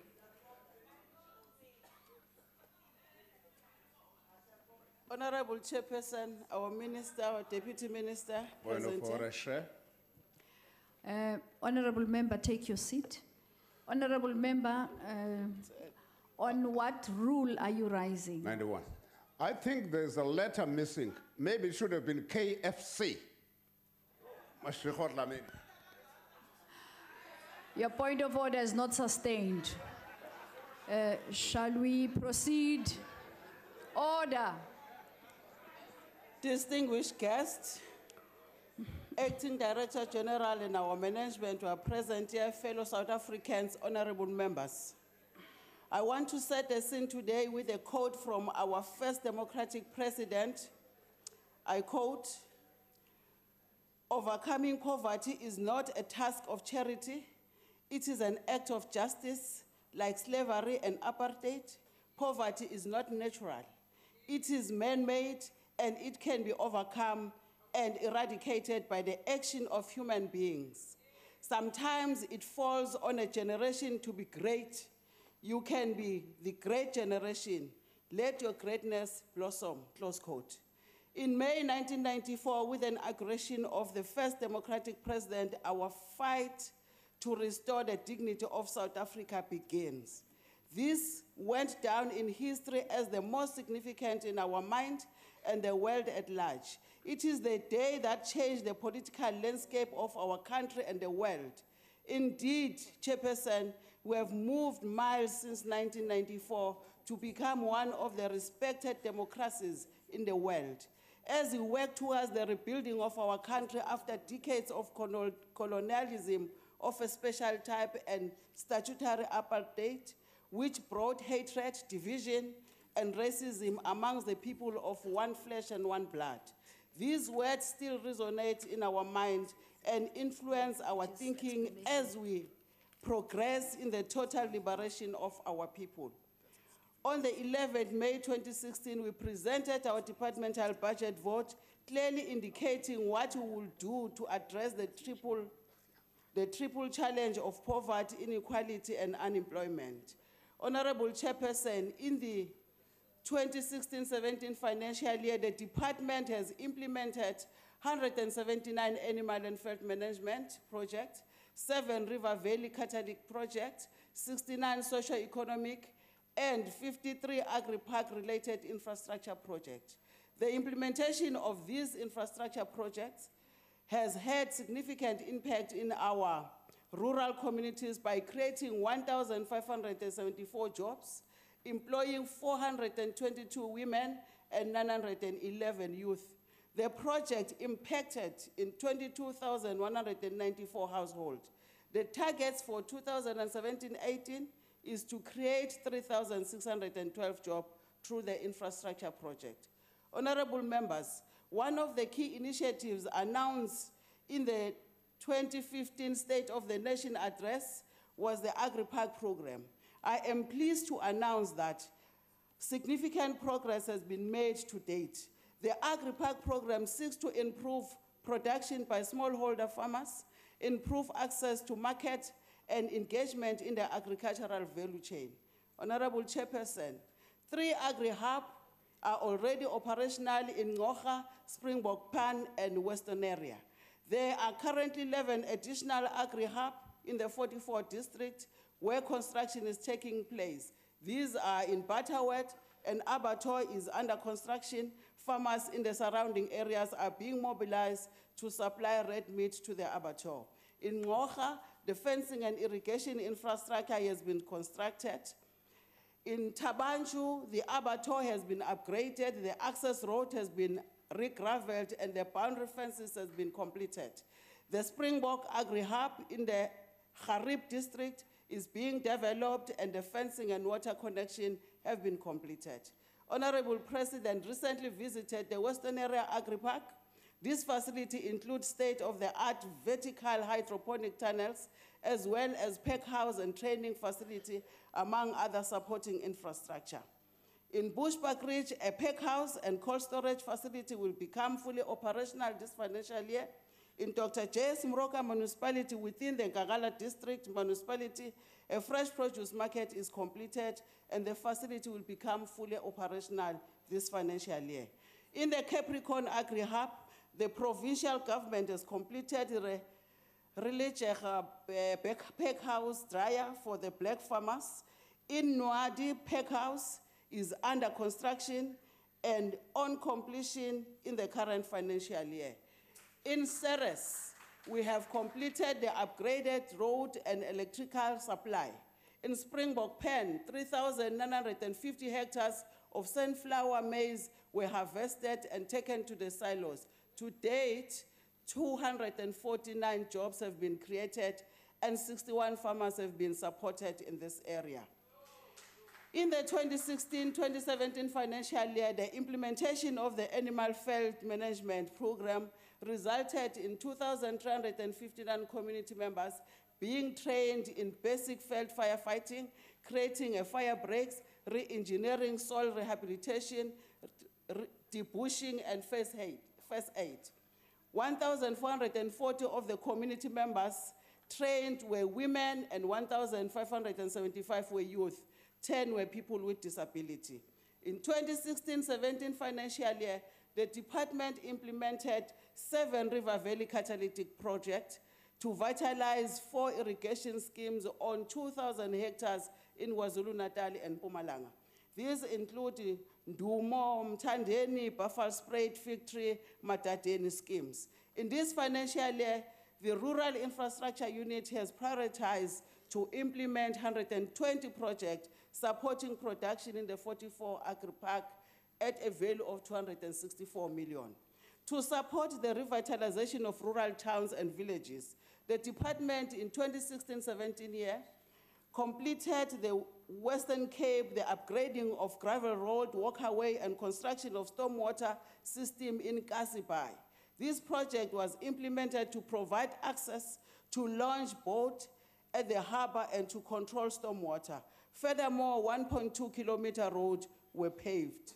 In 2017-18 financial year, 30 socio-economic infrastructure projects will be completed at the investment of 252 million, which will result in creating 2,530 jobs. Skills development is an important component of the radical socio-economic transformation, and to this end, we will skill 1,480 rural people as part of the Rural Disaster Mitigation Program.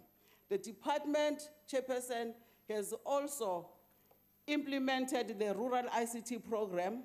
In 2016-17 financial year, we delivered learners infrastructure to 44 schools in all provinces, supporting more than 10,000 learners to provide access to latest education technology and teaching aid respectively.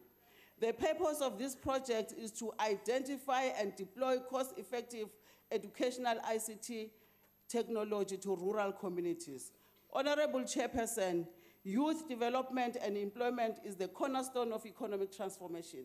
Since 2010, the department has implemented a national rural youth service corps program. In 2016-17 financial year, the NARYSEC program recruited 2,700 youth from all nine provinces aligned to the agri-park. This will ensure that the youth are skilled in the essential skills required to participate in the enterprise and industrial opportunities to operationalize the agri-parks. In the 2017-18 financial year, we'll be investing 427 million to recruit 2,700 new youth and graduate 2,132 youth in various essential skills programs. Honorable Chairperson, we should mention that Tabanchu NARYSEC College is now fully operational and being upgraded as we speak. It is becoming a center for skills development that is not only servicing the NARYSEC program, but the widespread public. In 2016-17, the department has supported rural enterpri- enterprise aligned in agricultural policy action plan and the industrial policy action plan. A total of 161 enterprise were supported within the red meat, grain, cotton, poultry, wool, gold, and horticulture value chain. With this project, we have facilitated the creation of 4,690 jobs opportunities, which has resulted in increased income generation for the community. Honorable involved. Deputy Minister, round up. Honorable Chairperson, in arts and craft, we need to indicate that we have finished to establish our cooperative bank. Our people are now banking their money in their own bank as cooperatives. We are also want to indicate that we are supporting a young girl who's present here called Fezile Koza, who have established his Fiza's Pizza of its own kind. We have set aside 600,000 to support the pizza. Honorable member, your time is I up. Thank you. Honorable Deputy Honorable Chair. Minister. Honorable Chair, this side, may I address you in terms of Rule 84? I did not rise earlier on as a show of respect to yourself and the Deputy Minister. Honorable Filtane rose on a frivolous point of order. And he said the Deputy Minister must be referred to as the KFC. And in terms of Rule 84, that is insulting, disrespectful, unbecoming, and unparliamentary. Unfortunately, in your ruling, you did not say he must withdraw. So I want him to withdraw that reference to the minister as KFC. Okay. Well, Honorable, Honorable Whip, immediately after um, Honorable Member Filtane rose, I actually ruled that that was not a point of order. So which means there is already an existing ruling, but in future, if you rise, can you rise immediately after the point of order? Thank you very much. Order. Order. Hon- Honorable members, we will now move to Honorable Member N.W. Magadla.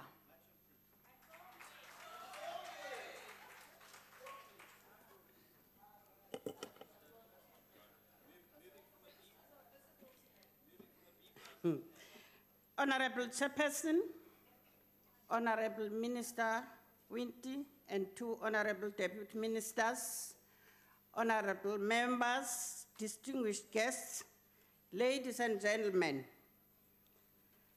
Chairperson, 2017 is the year to celebrate the life of Oliver Reginald Tambo, who was the champion of political liberation and economic emancipation for the people of South Africa.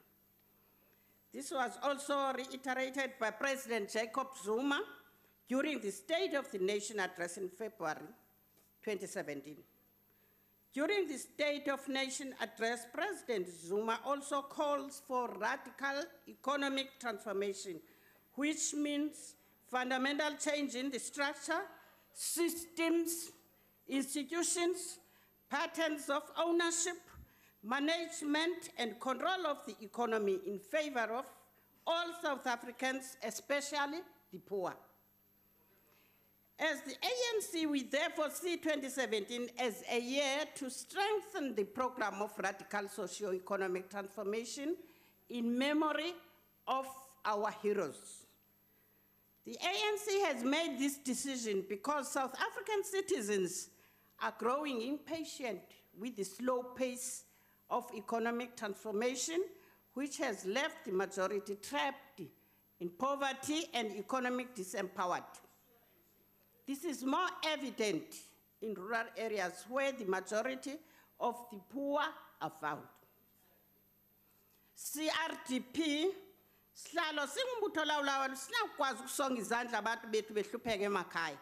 In 2009 our government initiated CRDP that is Comprehensive Rural Development Program to address the scourge of poverty in rural areas.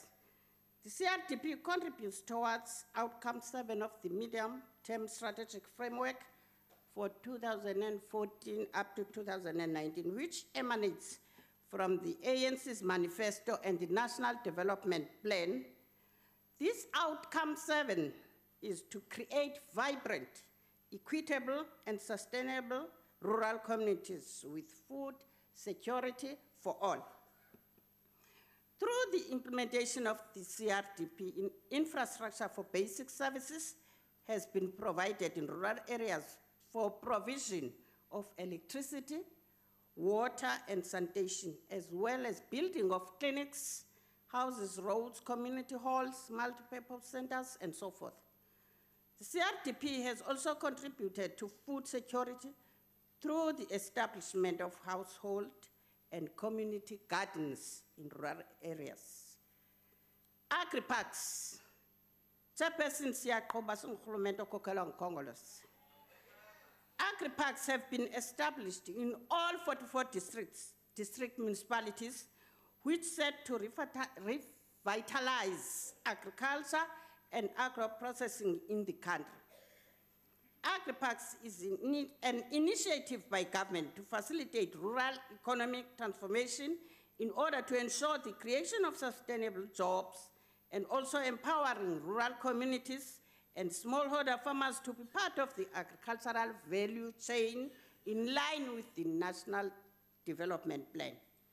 Since the inception of Agriparks, as Deputy Minister has indicated, three agri-hubs are operational, which are Ncora in the Eastern Cape, Springbok Pan in Northwest, and Westonaria in Gauteng. These are expected to bring investment and create a class of black smallholder farmers and producers linked to markets in those selected poor areas. Approximately 10,566 smallholder farmers have been identified to benefit from agriparks and 69,692 hectares of land has been distributed. Nansi ke enye once household one hectare program was launched in October 2015. The main purpose of the program is to promote food security and improve rural livelihoods through allocating land to selected beneficiaries for subsistence farming, while the bigger plan is to transform rural economy. Households are supported to produce for consumption needs and organized into primary cooperatives linked to the agri-parks initiatives. As an extension to the one household one hectare program, the Department of Rural Development and Rural Reform introduced the one hectare, two dairy cows initiative, in which each household in dairy producing areas is given two cattle to contribute to the production of dairy products. Nare chairperson singurhulumente asibayekelelanga abantu abatsha basezilalini.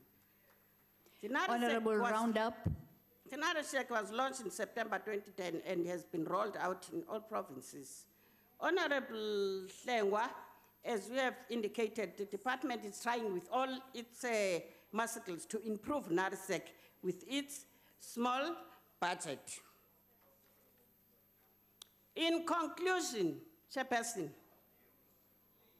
and members, it is clear that this budget speaks to the needs of rural people and aims at empowering them to participate in the economy of the country. Therefore, the ANC supports budget vote number 39. I thank you, Chairperson.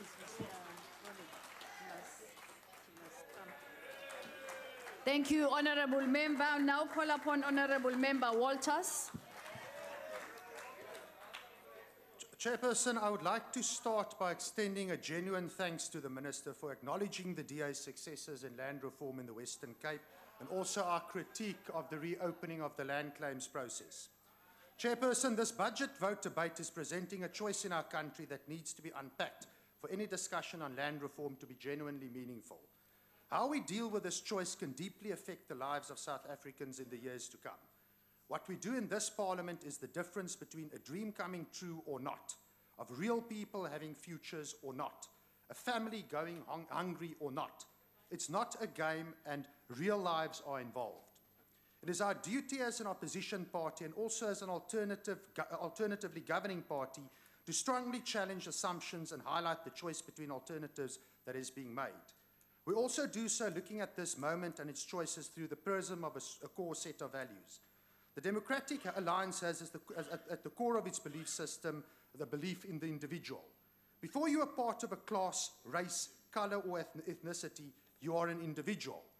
For us, it therefore stands to reason that unless we do changes that lives, ch- make changes that do make a difference in the lives of individuals, anything else is, is mere layers of obfuscation standing in the way of change.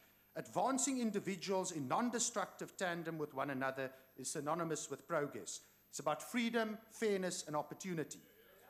All of this, of course, must be done in a contextually intelligent manner which takes into account our particular history and what shapes the lives of individuals, especially the forgotten rural poor.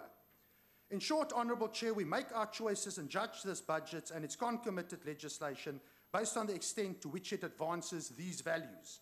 This budget is meant to support a flurry of legislation coming to us that also provides further, con- further context to what we are doing.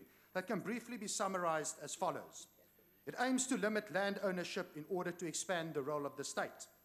The upcoming regulation of agricultural land holdings bill is essentially aimed at dumping a lot of land on the market in the belief that that will advance access to the land and advance the poor. It aims to secure a privileged position for the state as an operator, price setter, purchaser, and distributor of land. The new draft regulation for the valuation of land aim at setting a standardized land pricing system towards this objective. All of this is superficially founded on a belief that the state is the vehicle of change in society, and our budgets are also being led by these assumptions. Chair, these assumptions are not borne out by the facts, and we believe the underlying problems are simply being sidestepped. The same ANC government who wants more power and more control have shown that it's the very reason why land reform is failing and we cannot have more of the same. It's not that we are going too fast. The government is going too fast for the people. The people are waiting for the government. More than 80 billion rand has largely been wasted in commercial rural land, the commercial rural land market estimated at the size of 192 billion. Billions and billions were lost each year by the ANC government that could have been spent on land reform in wasteful expenditure, fiscal dumping without meeting targets, and of course the ANC's perennial bed partner, corruption. The government blames the willing buyer, willing seller principle, but the truth is that the acquisition is so mismanaged that it often takes years to process sales. A massive failure rate of creating successful farming ventures exists. In 2011, this government had a 90% failure rate in its land reform ventures.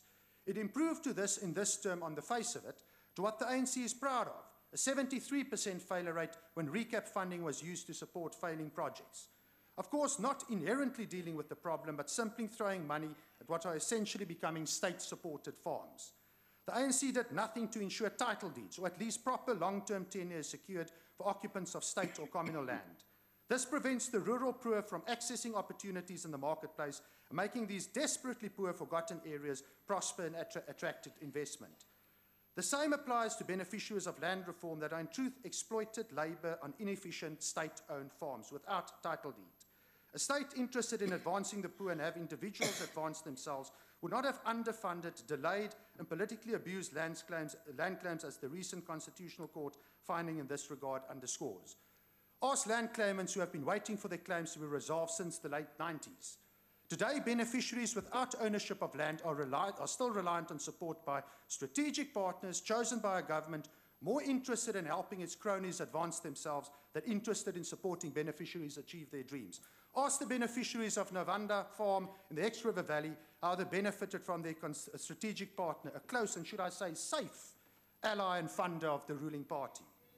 It's now clear that the ANC prefers to keep the poor from owning property, stealing their futures, sustaining the colonial and apartheid practice of keeping the poor dependent on government. It uses poverty and state largesse as mechanism to maintain a voting bloc for itself. We cannot therefore accept that somehow the very state that has shown itself as the single biggest enemy of the poor is the vehicle of change. Now government is intending to introduce legislation and regulations that will destroy the value of land, potentially ruin our financial sector, not only our agricultural sector, and drive away the internal, uh, in- internal external investment, again destroying hopes and dreams. It tries to provide political cover by stoking racial division, France, Noordwest Premier, stereotyping commercial farmers as, as the obstacle, and creating lightning conductors from their failure, even if those lightning conductors in truth doesn't exist. There's a real choice that can be made because successful land reform is happening. The Democratic Alliance challenges ANC governments to emulate our successes in share equity schemes with between a 60 and eh, 60% and Honourable 80% member, your time has expired. Based on win-win partnerships, if we can follow the DO Metro's example Honourable of member, a your time accelerated has expired. of title deeds to the poor. We believe the poor should own land. Honourable member, your time has expired. The next speaker is the Honourable Mnguni. House Chair, thank you. Uh, Honorable Minister, Deputy Ministers, Honorable Members, led by the Chair of the Committee, members of the House, uh, our guests, good morning. I was still listening. Uh, it's a pity the Honorable Walters before me had his time up. I will bargain next time he gets about 100 minutes. I wanted to really listen to him and what his party has to offer. I was really grappling, though, to, to really get him. Let's start with uh, the individual rights. As far as I have known, let's go back to history. We meet a lot, me and you, almost every week. It was the ANC that said at negotiations, no, we cannot agree to group rights all we can agree to is individual rights because by securing the rights of the individual, you automatically secure the rights of the group. Remember when your predecessor had negotiations, uh, when your predecessors had negotiations, they wanted to tie us down to, to, to, to minority rights. I do know that uh, you still hold profoundly the notion of minority rights.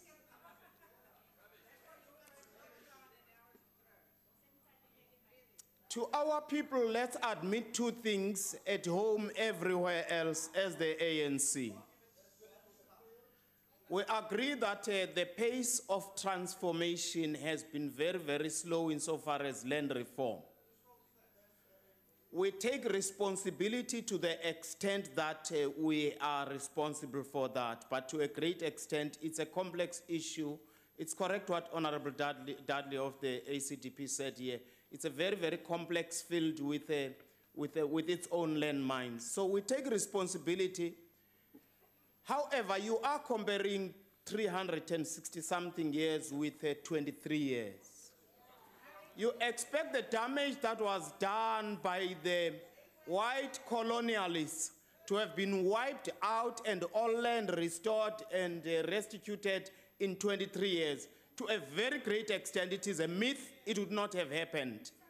We take responsibility. We apologize to our people. We think that uh, we may have been slow, but we do persuade our people that no party could have done better. We know the array of parties in the House and anywhere else. The second area on which we unreservedly apologize to our people is the area of corruption. And we do put ourselves in line. I do offer in the committee the services of the chair, my own services as the whip in that committee. If you pick up issues of corruption, please report to us. I will give examples of corruption we have confronted even in the committee. Dr. Mangojwa sits at Lusikisiki. He is a farmer also in his own right and talent and passion. He buys a farm in, um, is in the process of buying a farm in Kokstad. And all of a sudden, the department buys that farm at 1 million rands more than the price that Dr. Mangojwa was going to buy via the commercial banks for that matter. Clearly, we have a case of corruption. We are following it. We have spoken to the minister and to the department about it. We think that it was very, very unfortunate and unfair. It's not the ANC. It, it, it, it is then happening somewhere in the corridors of the machinery. Remember, DA, you said we may not deploy cadres. So somewhere in administration, we have got just free travelers who probably come from your ranks, you know. Otherwise, allow us to deploy every public service administration cadre ourselves. Then we'll deal with corruption.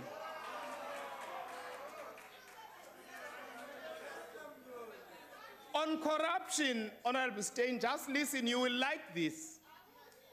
On corruption, an emerging timber producer at Umzimkulu buys or seeks to buy via the state support, seeks to buy a timber farm in Harding. And then, in the process, one nameless official, we are following this, we will give you report. One nameless official comes all the way from Pretoria and says to him, Chair talked about inchoncho, a bribe, and says to, to, to, to, to that person, please give us one million, we'll facilitate your obligation. Now, the department is here, the department is listening. They know we have taken up that issue, and we do so. That is corrupt. That emerging timber farmer who took pensions, was serving in the state, took his pension and bought all the equipment, needs to be assisted. We have talked about this. The minister is aware, acting DG, and everyone else is aware. On corruption out there, let, when the story is told that the ANC is corrupt, let it be told that, but we have heard the ANC voices standing up very loudly against corruption. We cite cases. Give us more cases, and we will deal with those cases of corruption.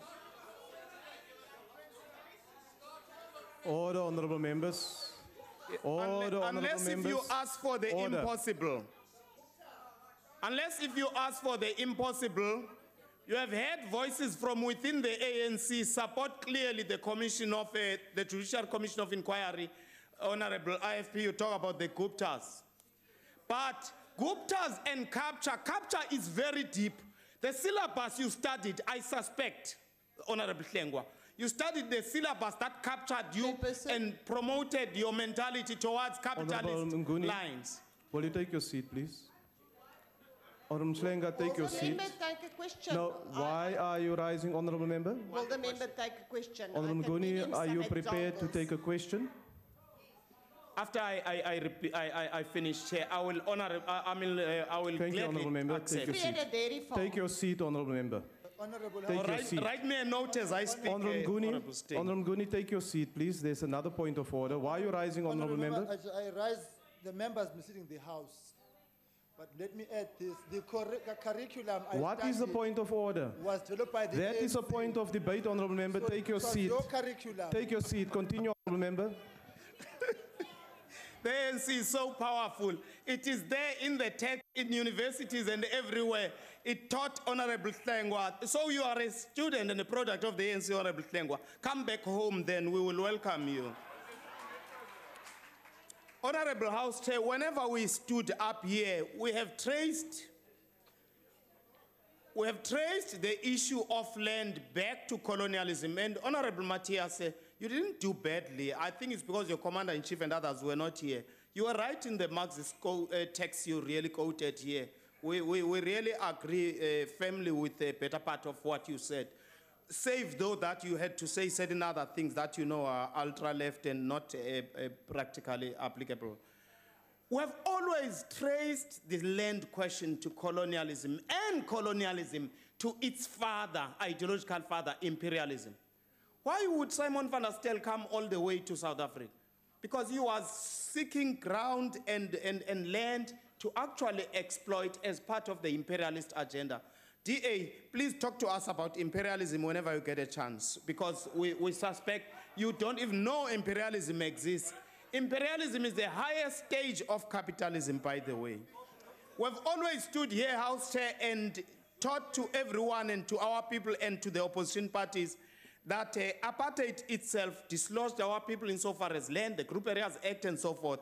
But we have characterized it as having a legacy of three features which remain to date the race, class, and, and, and, and, and gender.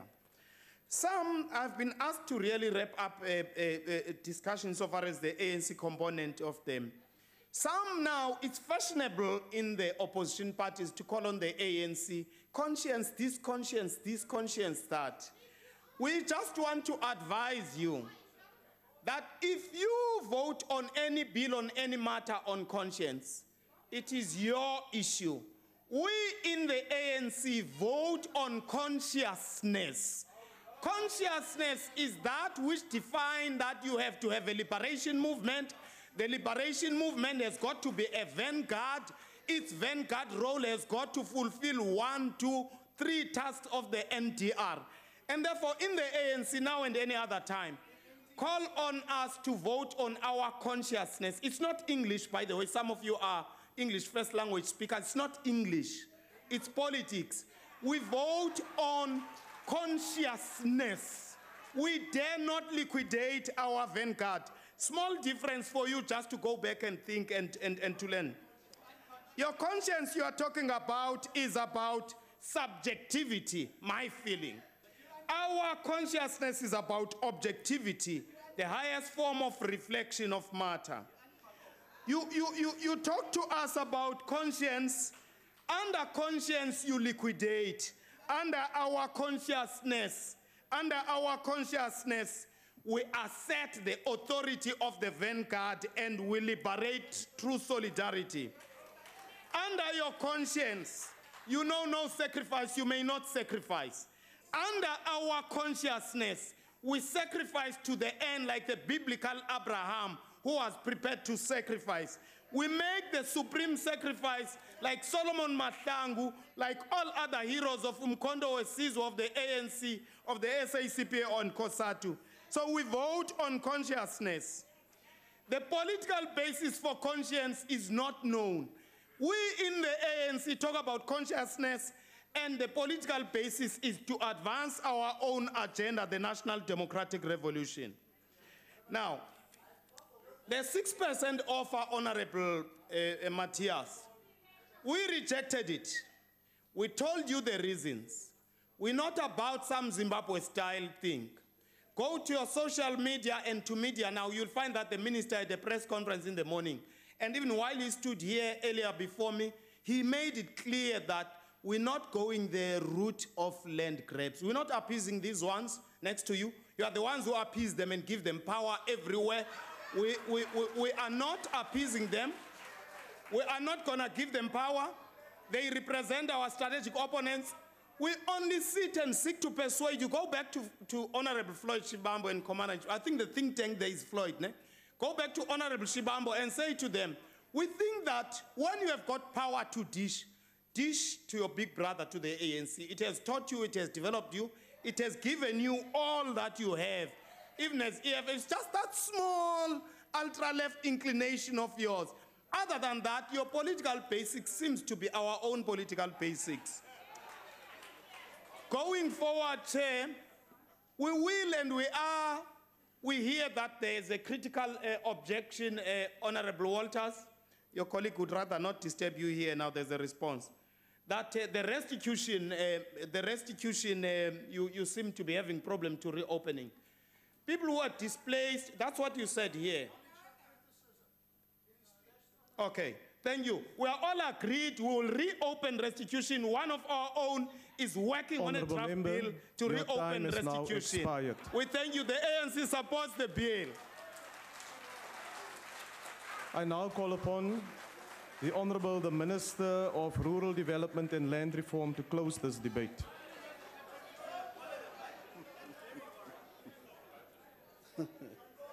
Thank you, Honorable Chair. Honorable Chair, let me first of all thank you, thank all Order, the honourable members. Let me thank all the honorable members who spoke here, all of them with no exception. Thank you very much. We, we, we, we accept your criticism and we appreciate your, your, your support. Uh, the, yes, we have established a chief directorate from the 1st of April, Honorable Chair of the, of the Portfolio Committee in the question of the farm dwellers.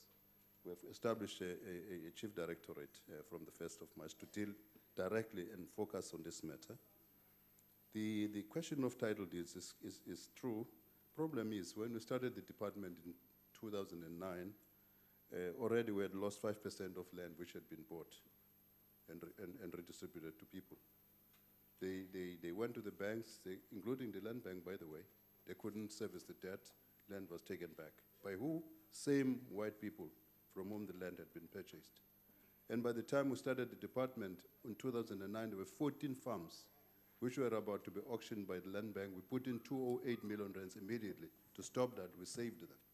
That money is still with the land bank because we are watch, we are guarding this, and we said we're not giving title deeds until we've, we stabilize this land reform pro, uh, market.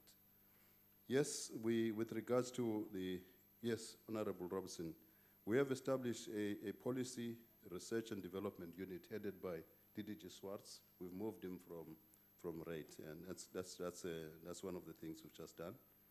And uh, we, now, you know, uh, Honorable Matthias, um, you quoted Maqoma and others. You know what?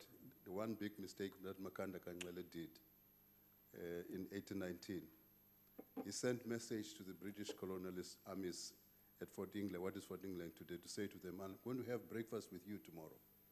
He didn't realize that he was giving them a tip that he was going to attack, and he attacked, and they, we lost. So, um,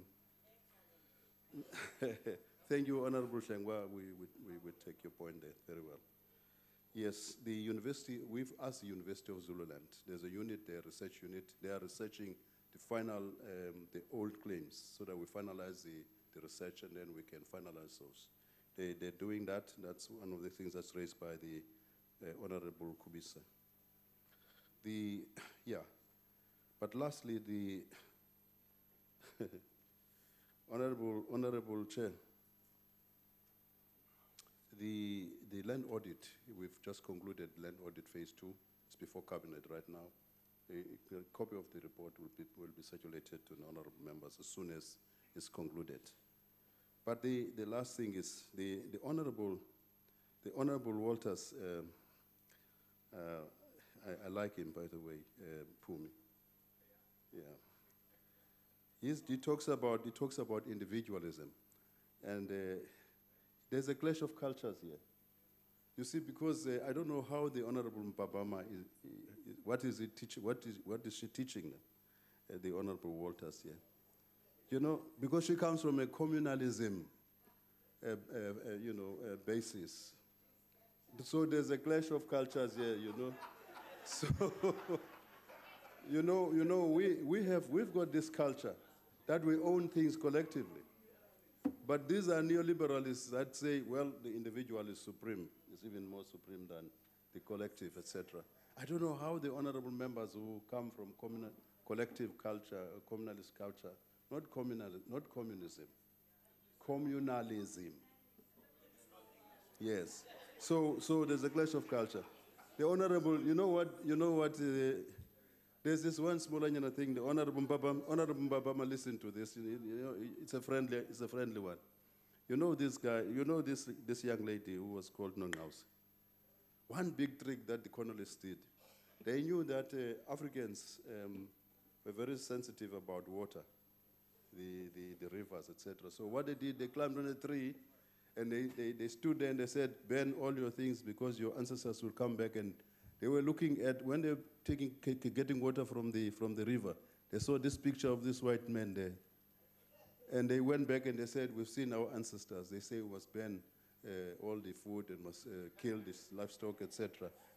That is, that is, that is what Nongqawuse did. Eh? So, so be careful, be careful of this. These guys,